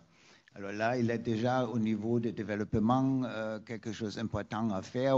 C'est en train de, de révision. Ça, c'est une chose. La deuxième chose, en ce qui concerne Astrid, euh, c'est pas, à mon avis, abandonné, mais c'est euh, passé vers, vers l'année 2080. Et oui, oui, mais attention, 2080 veut dire maintenir la connaissance pour 50 années, c'est presque impossible, mais les, CA euh, dans d'autres euh, projets pour au minimum essayer. Et euh, l'autre chose, c'est que euh, la HAC n'est pas disponible pour intégrer les, les, les réacteurs rapides le, dans le parc actuel. Alors, ça veut dire que la, la HAC doit être renouvelée. Je l'ai dit déjà avant, c'est-à-dire il faut investir aujourd'hui, aujourd'hui c'est 2030, 2040, dans, le renouvellement de la HAC pour, et avec l'idée de multirecyclage et des choses comme ça, pour être capable dans, les temps plus tard de, recycler le plutonium à, l'échelle beaucoup plus, grande et pour fabriquer après euh, les réacteurs rapides. C'est quand même une certaine chaîne dans laquelle l'ensemble, la HAX joue, à mon avis, un paramètre clé euh, dans, dans, l'idée du cycle et pas seulement dans l'idée de tel et tel réacteur. Oui, je crois que les, EPR sont très sûrs. L'EPR 2 sera un peu plus simplifié. C'est aussi parce que l'EPR, c'est une tête de série, donc c'est normal qu'on apprend. Hein, c'est euh, le retour d'expérience. Donc ça va être simplifié au niveau de l'EPR2, ce qui explique que les coûts vont baisser sans mettre en cause la, sûreté. Je crois d'ailleurs que dans l'opinion publique, euh, ce n'est pas tellement le problème de l'accident, surtout dans un pays comme la France qui euh, est en question, c'est surtout la gestion des déchets. Les gens sont beaucoup plus sensibles, semble-t-il, à la gestion des déchets qu'au risque d'accident nucléaire compte tenu, je dirais, des, enceintes euh, de sécurité euh, successives dont on dispose. Alors maintenant, je suis d'accord pour dire que la Hague, euh, c'est un problème parce que, en effet, on arrive bientôt à saturation. Là, il faut y réfléchir. Mais d'une façon générale, on sait que les, nouveaux équipements nucléaires, comme le disait tout à l'heure Stéphanie, on aura beaucoup de mal à trouver des nouveaux sites. Construire, par exemple, de nouveaux réacteurs sur des sites où il y a déjà des réacteurs, c'est possible, sans trop de difficultés. Heureusement, EDF a été prévoyante et ils ont des sites relativement euh, étendus qui leur permettent d'en construire. Par contre, trouver un nouveau site, on le voit y compris pour le stockage. Hein. Alors, le stockage en France, c'est bien avancé. Il y a trois pays pour lesquels c'est bien avancé, c'est la Finlande, la Suède et la France. Mais euh, trouver des sites pour des installations nucléaires, des sites nouveaux, ça c'est difficile. Je rejoins juste, euh, je rejoins complètement euh, Jacques. Après, sur euh, l'échéance 2080, enfin, on voit bien, et là toute l'histoire, elle a bien montré qu'en fait, en l'absence d'activité, maintenir des compétences, c'est quasiment impossible en fait. Donc là, de fait, si on redémarre pas une activité relativement rapidement, hein, là, il y a encore des ingénieurs qui ont été formés sur la street qui ont des compétences, mais d'ici 2080, clairement. Euh, ce sera beaucoup trop tard pour avoir maintenu euh, des compétences, euh, même avec des, voilà, des innovations en matière de, de knowledge management.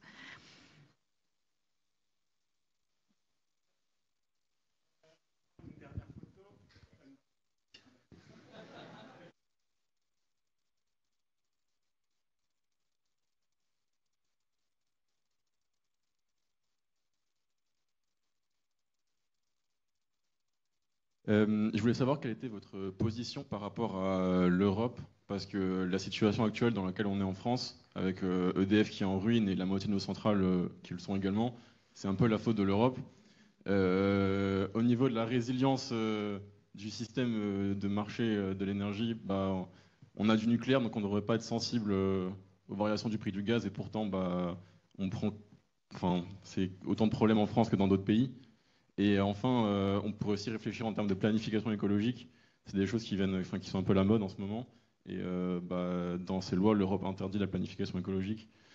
Donc je voulais savoir quelle était votre position par rapport à ça pour euh, la transition énergétique. D'abord, je ne crois pas qu'EDF soit en ruine. Hein. Vous avez fait un raccourci, je dirais, un peu audacieux. Mais bon, EDF traverse actuellement quelques difficultés avec des centrales qui sont à l'arrêt pour des raisons multiples. Hein. En août, ce n'est pas, pas, anormal que les centrales soient à l'arrêt pour rechargement. Il vaut mieux faire le rechargement en août qu'au euh, mois de janvier. Hein. Mais alors, c'est en effet les 12 réacteurs qui sont à l'arrêt pour des problèmes techniques. Il semblerait que ce soit en, passe d'ailleurs d'être largement résolu. Alors peut-être aussi, de ce point de vue, il faut tenir compte du fait que l'ASN, l'autorité de sûreté nucléaire française, est particulièrement exigeante, qu'elle a mis la barre de plus en plus haute. Au fil du temps, d'ailleurs, la barre de la sûreté monte. Et donc, si vous voulez, il y a peut-être des arrêts de tranche aujourd'hui qu'on n'aurait pas fait il y a 10 ans ou 15 ans. Hein. Donc ceci peut aussi euh, expliquer les difficultés. Alors sur l'Europe, il faut bien comprendre qu'à partir du moment où on a dit on fait l'Europe, euh, sur tous les marchés. Euh, euh, l'article 90 du traité de Rome est très précis. L'électricité comme le gaz sont soumis aux règles du traité de Rome et donc aux règles de la concurrence. Donc il faut ouvrir à la concurrence. Alors, je dirais, ça fait partie de la logique. Il se trouve que le fait qu'on manque de capacité et que les centrales à gaz soient en quelque sorte les centrales, je dirais, qui sont appelées au dernier moment, fait qu'on dépend du prix du gaz. Mais euh, on peut réfléchir, en effet, il le faut aujourd'hui réfléchir à des systèmes peut-être un peu différents pour éviter cette dépendance excessive, mais personne n'avait prévu quand même que le prix du gaz monterait autant, il faut être honnête. Alors maintenant, quant à l'Europe, euh, je crois que si on veut quand même être un peu optimiste, on voit que la solidarité joue quand même. Hein. Bon, c'est-à-dire que, euh, bien sûr, quand vous faites des interconnexions euh, vous dépendez un peu des problèmes des autres. À certains moments, en 2006, quand les Allemands ont fait une bêtise sur une ligne à haute tension, la France euh, est venue au secours et RTE est venu très vite au, secours des Allemands, mais c'est la logique européenne. À l'inverse, aujourd'hui, on est bien content que l'Allemagne nous envoie de l'électricité, même si elle est carbonée, parce qu'on a besoin d'électricité. Donc, si vous voulez, les interconnexions, euh, c'est du secours mutuel. Bon, ça prouve que, l'Europe marche simplement. Euh, je dirais les solidarités dans ce domaine pour un produit qui est aussi stratégique que l'électricité. bah, il faut tenir compte des contraintes de chacun des pays, des opinions publiques, et les choix nationaux sont différents. Mais tout simplement parce que les contraintes nationales sont différentes. Vous avez des pays qui ont beaucoup d'hydraulique. Donc si vous voulez regarder, euh, même en dehors de l'Europe, la Norvège, regardez la Suède, il y a beaucoup d'hydraulique en Suède, regardez l'Autriche, il y a beaucoup d'hydraulique. La France a pas mal d'hydraulique, plus que l'Allemagne, puisqu'on a 12% de l'électricité. Mais on n'a pas euh, d'autres ressources, on a misé sur la technologie nucléaire.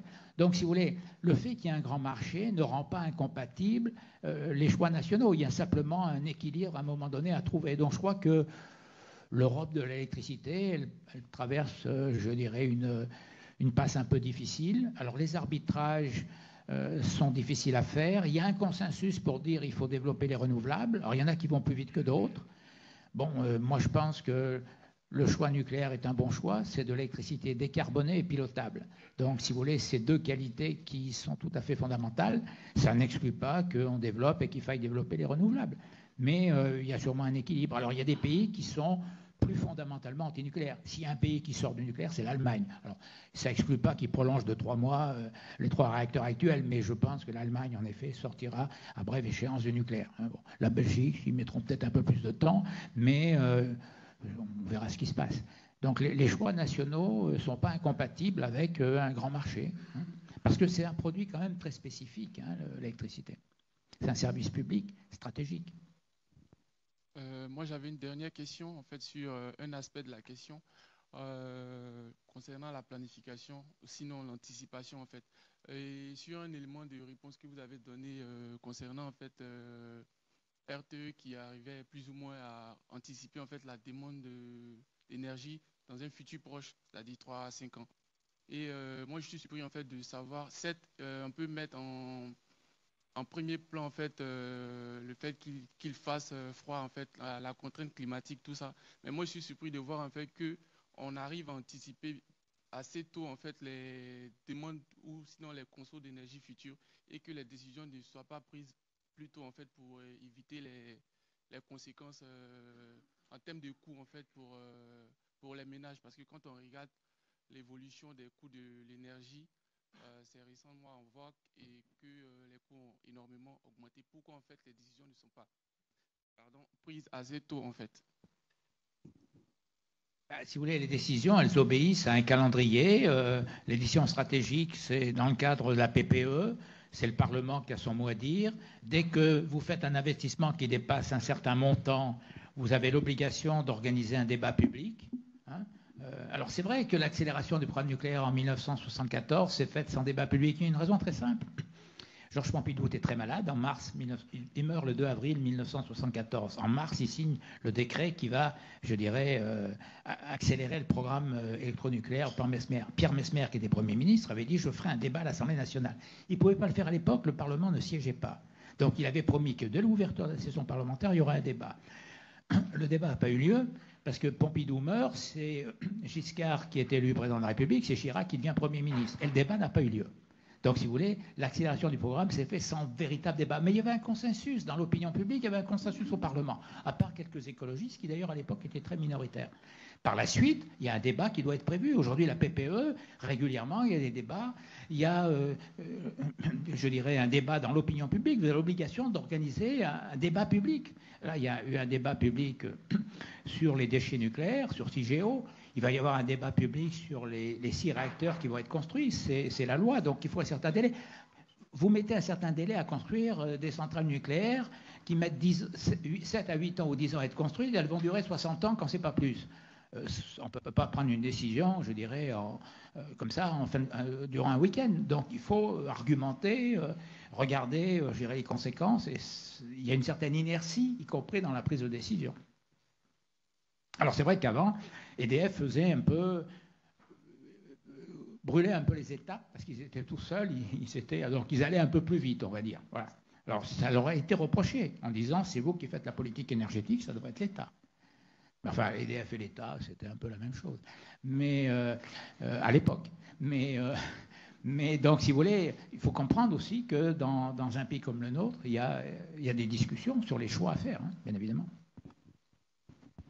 Bon, merci à tous, merci à toutes. On va s'arrêter là.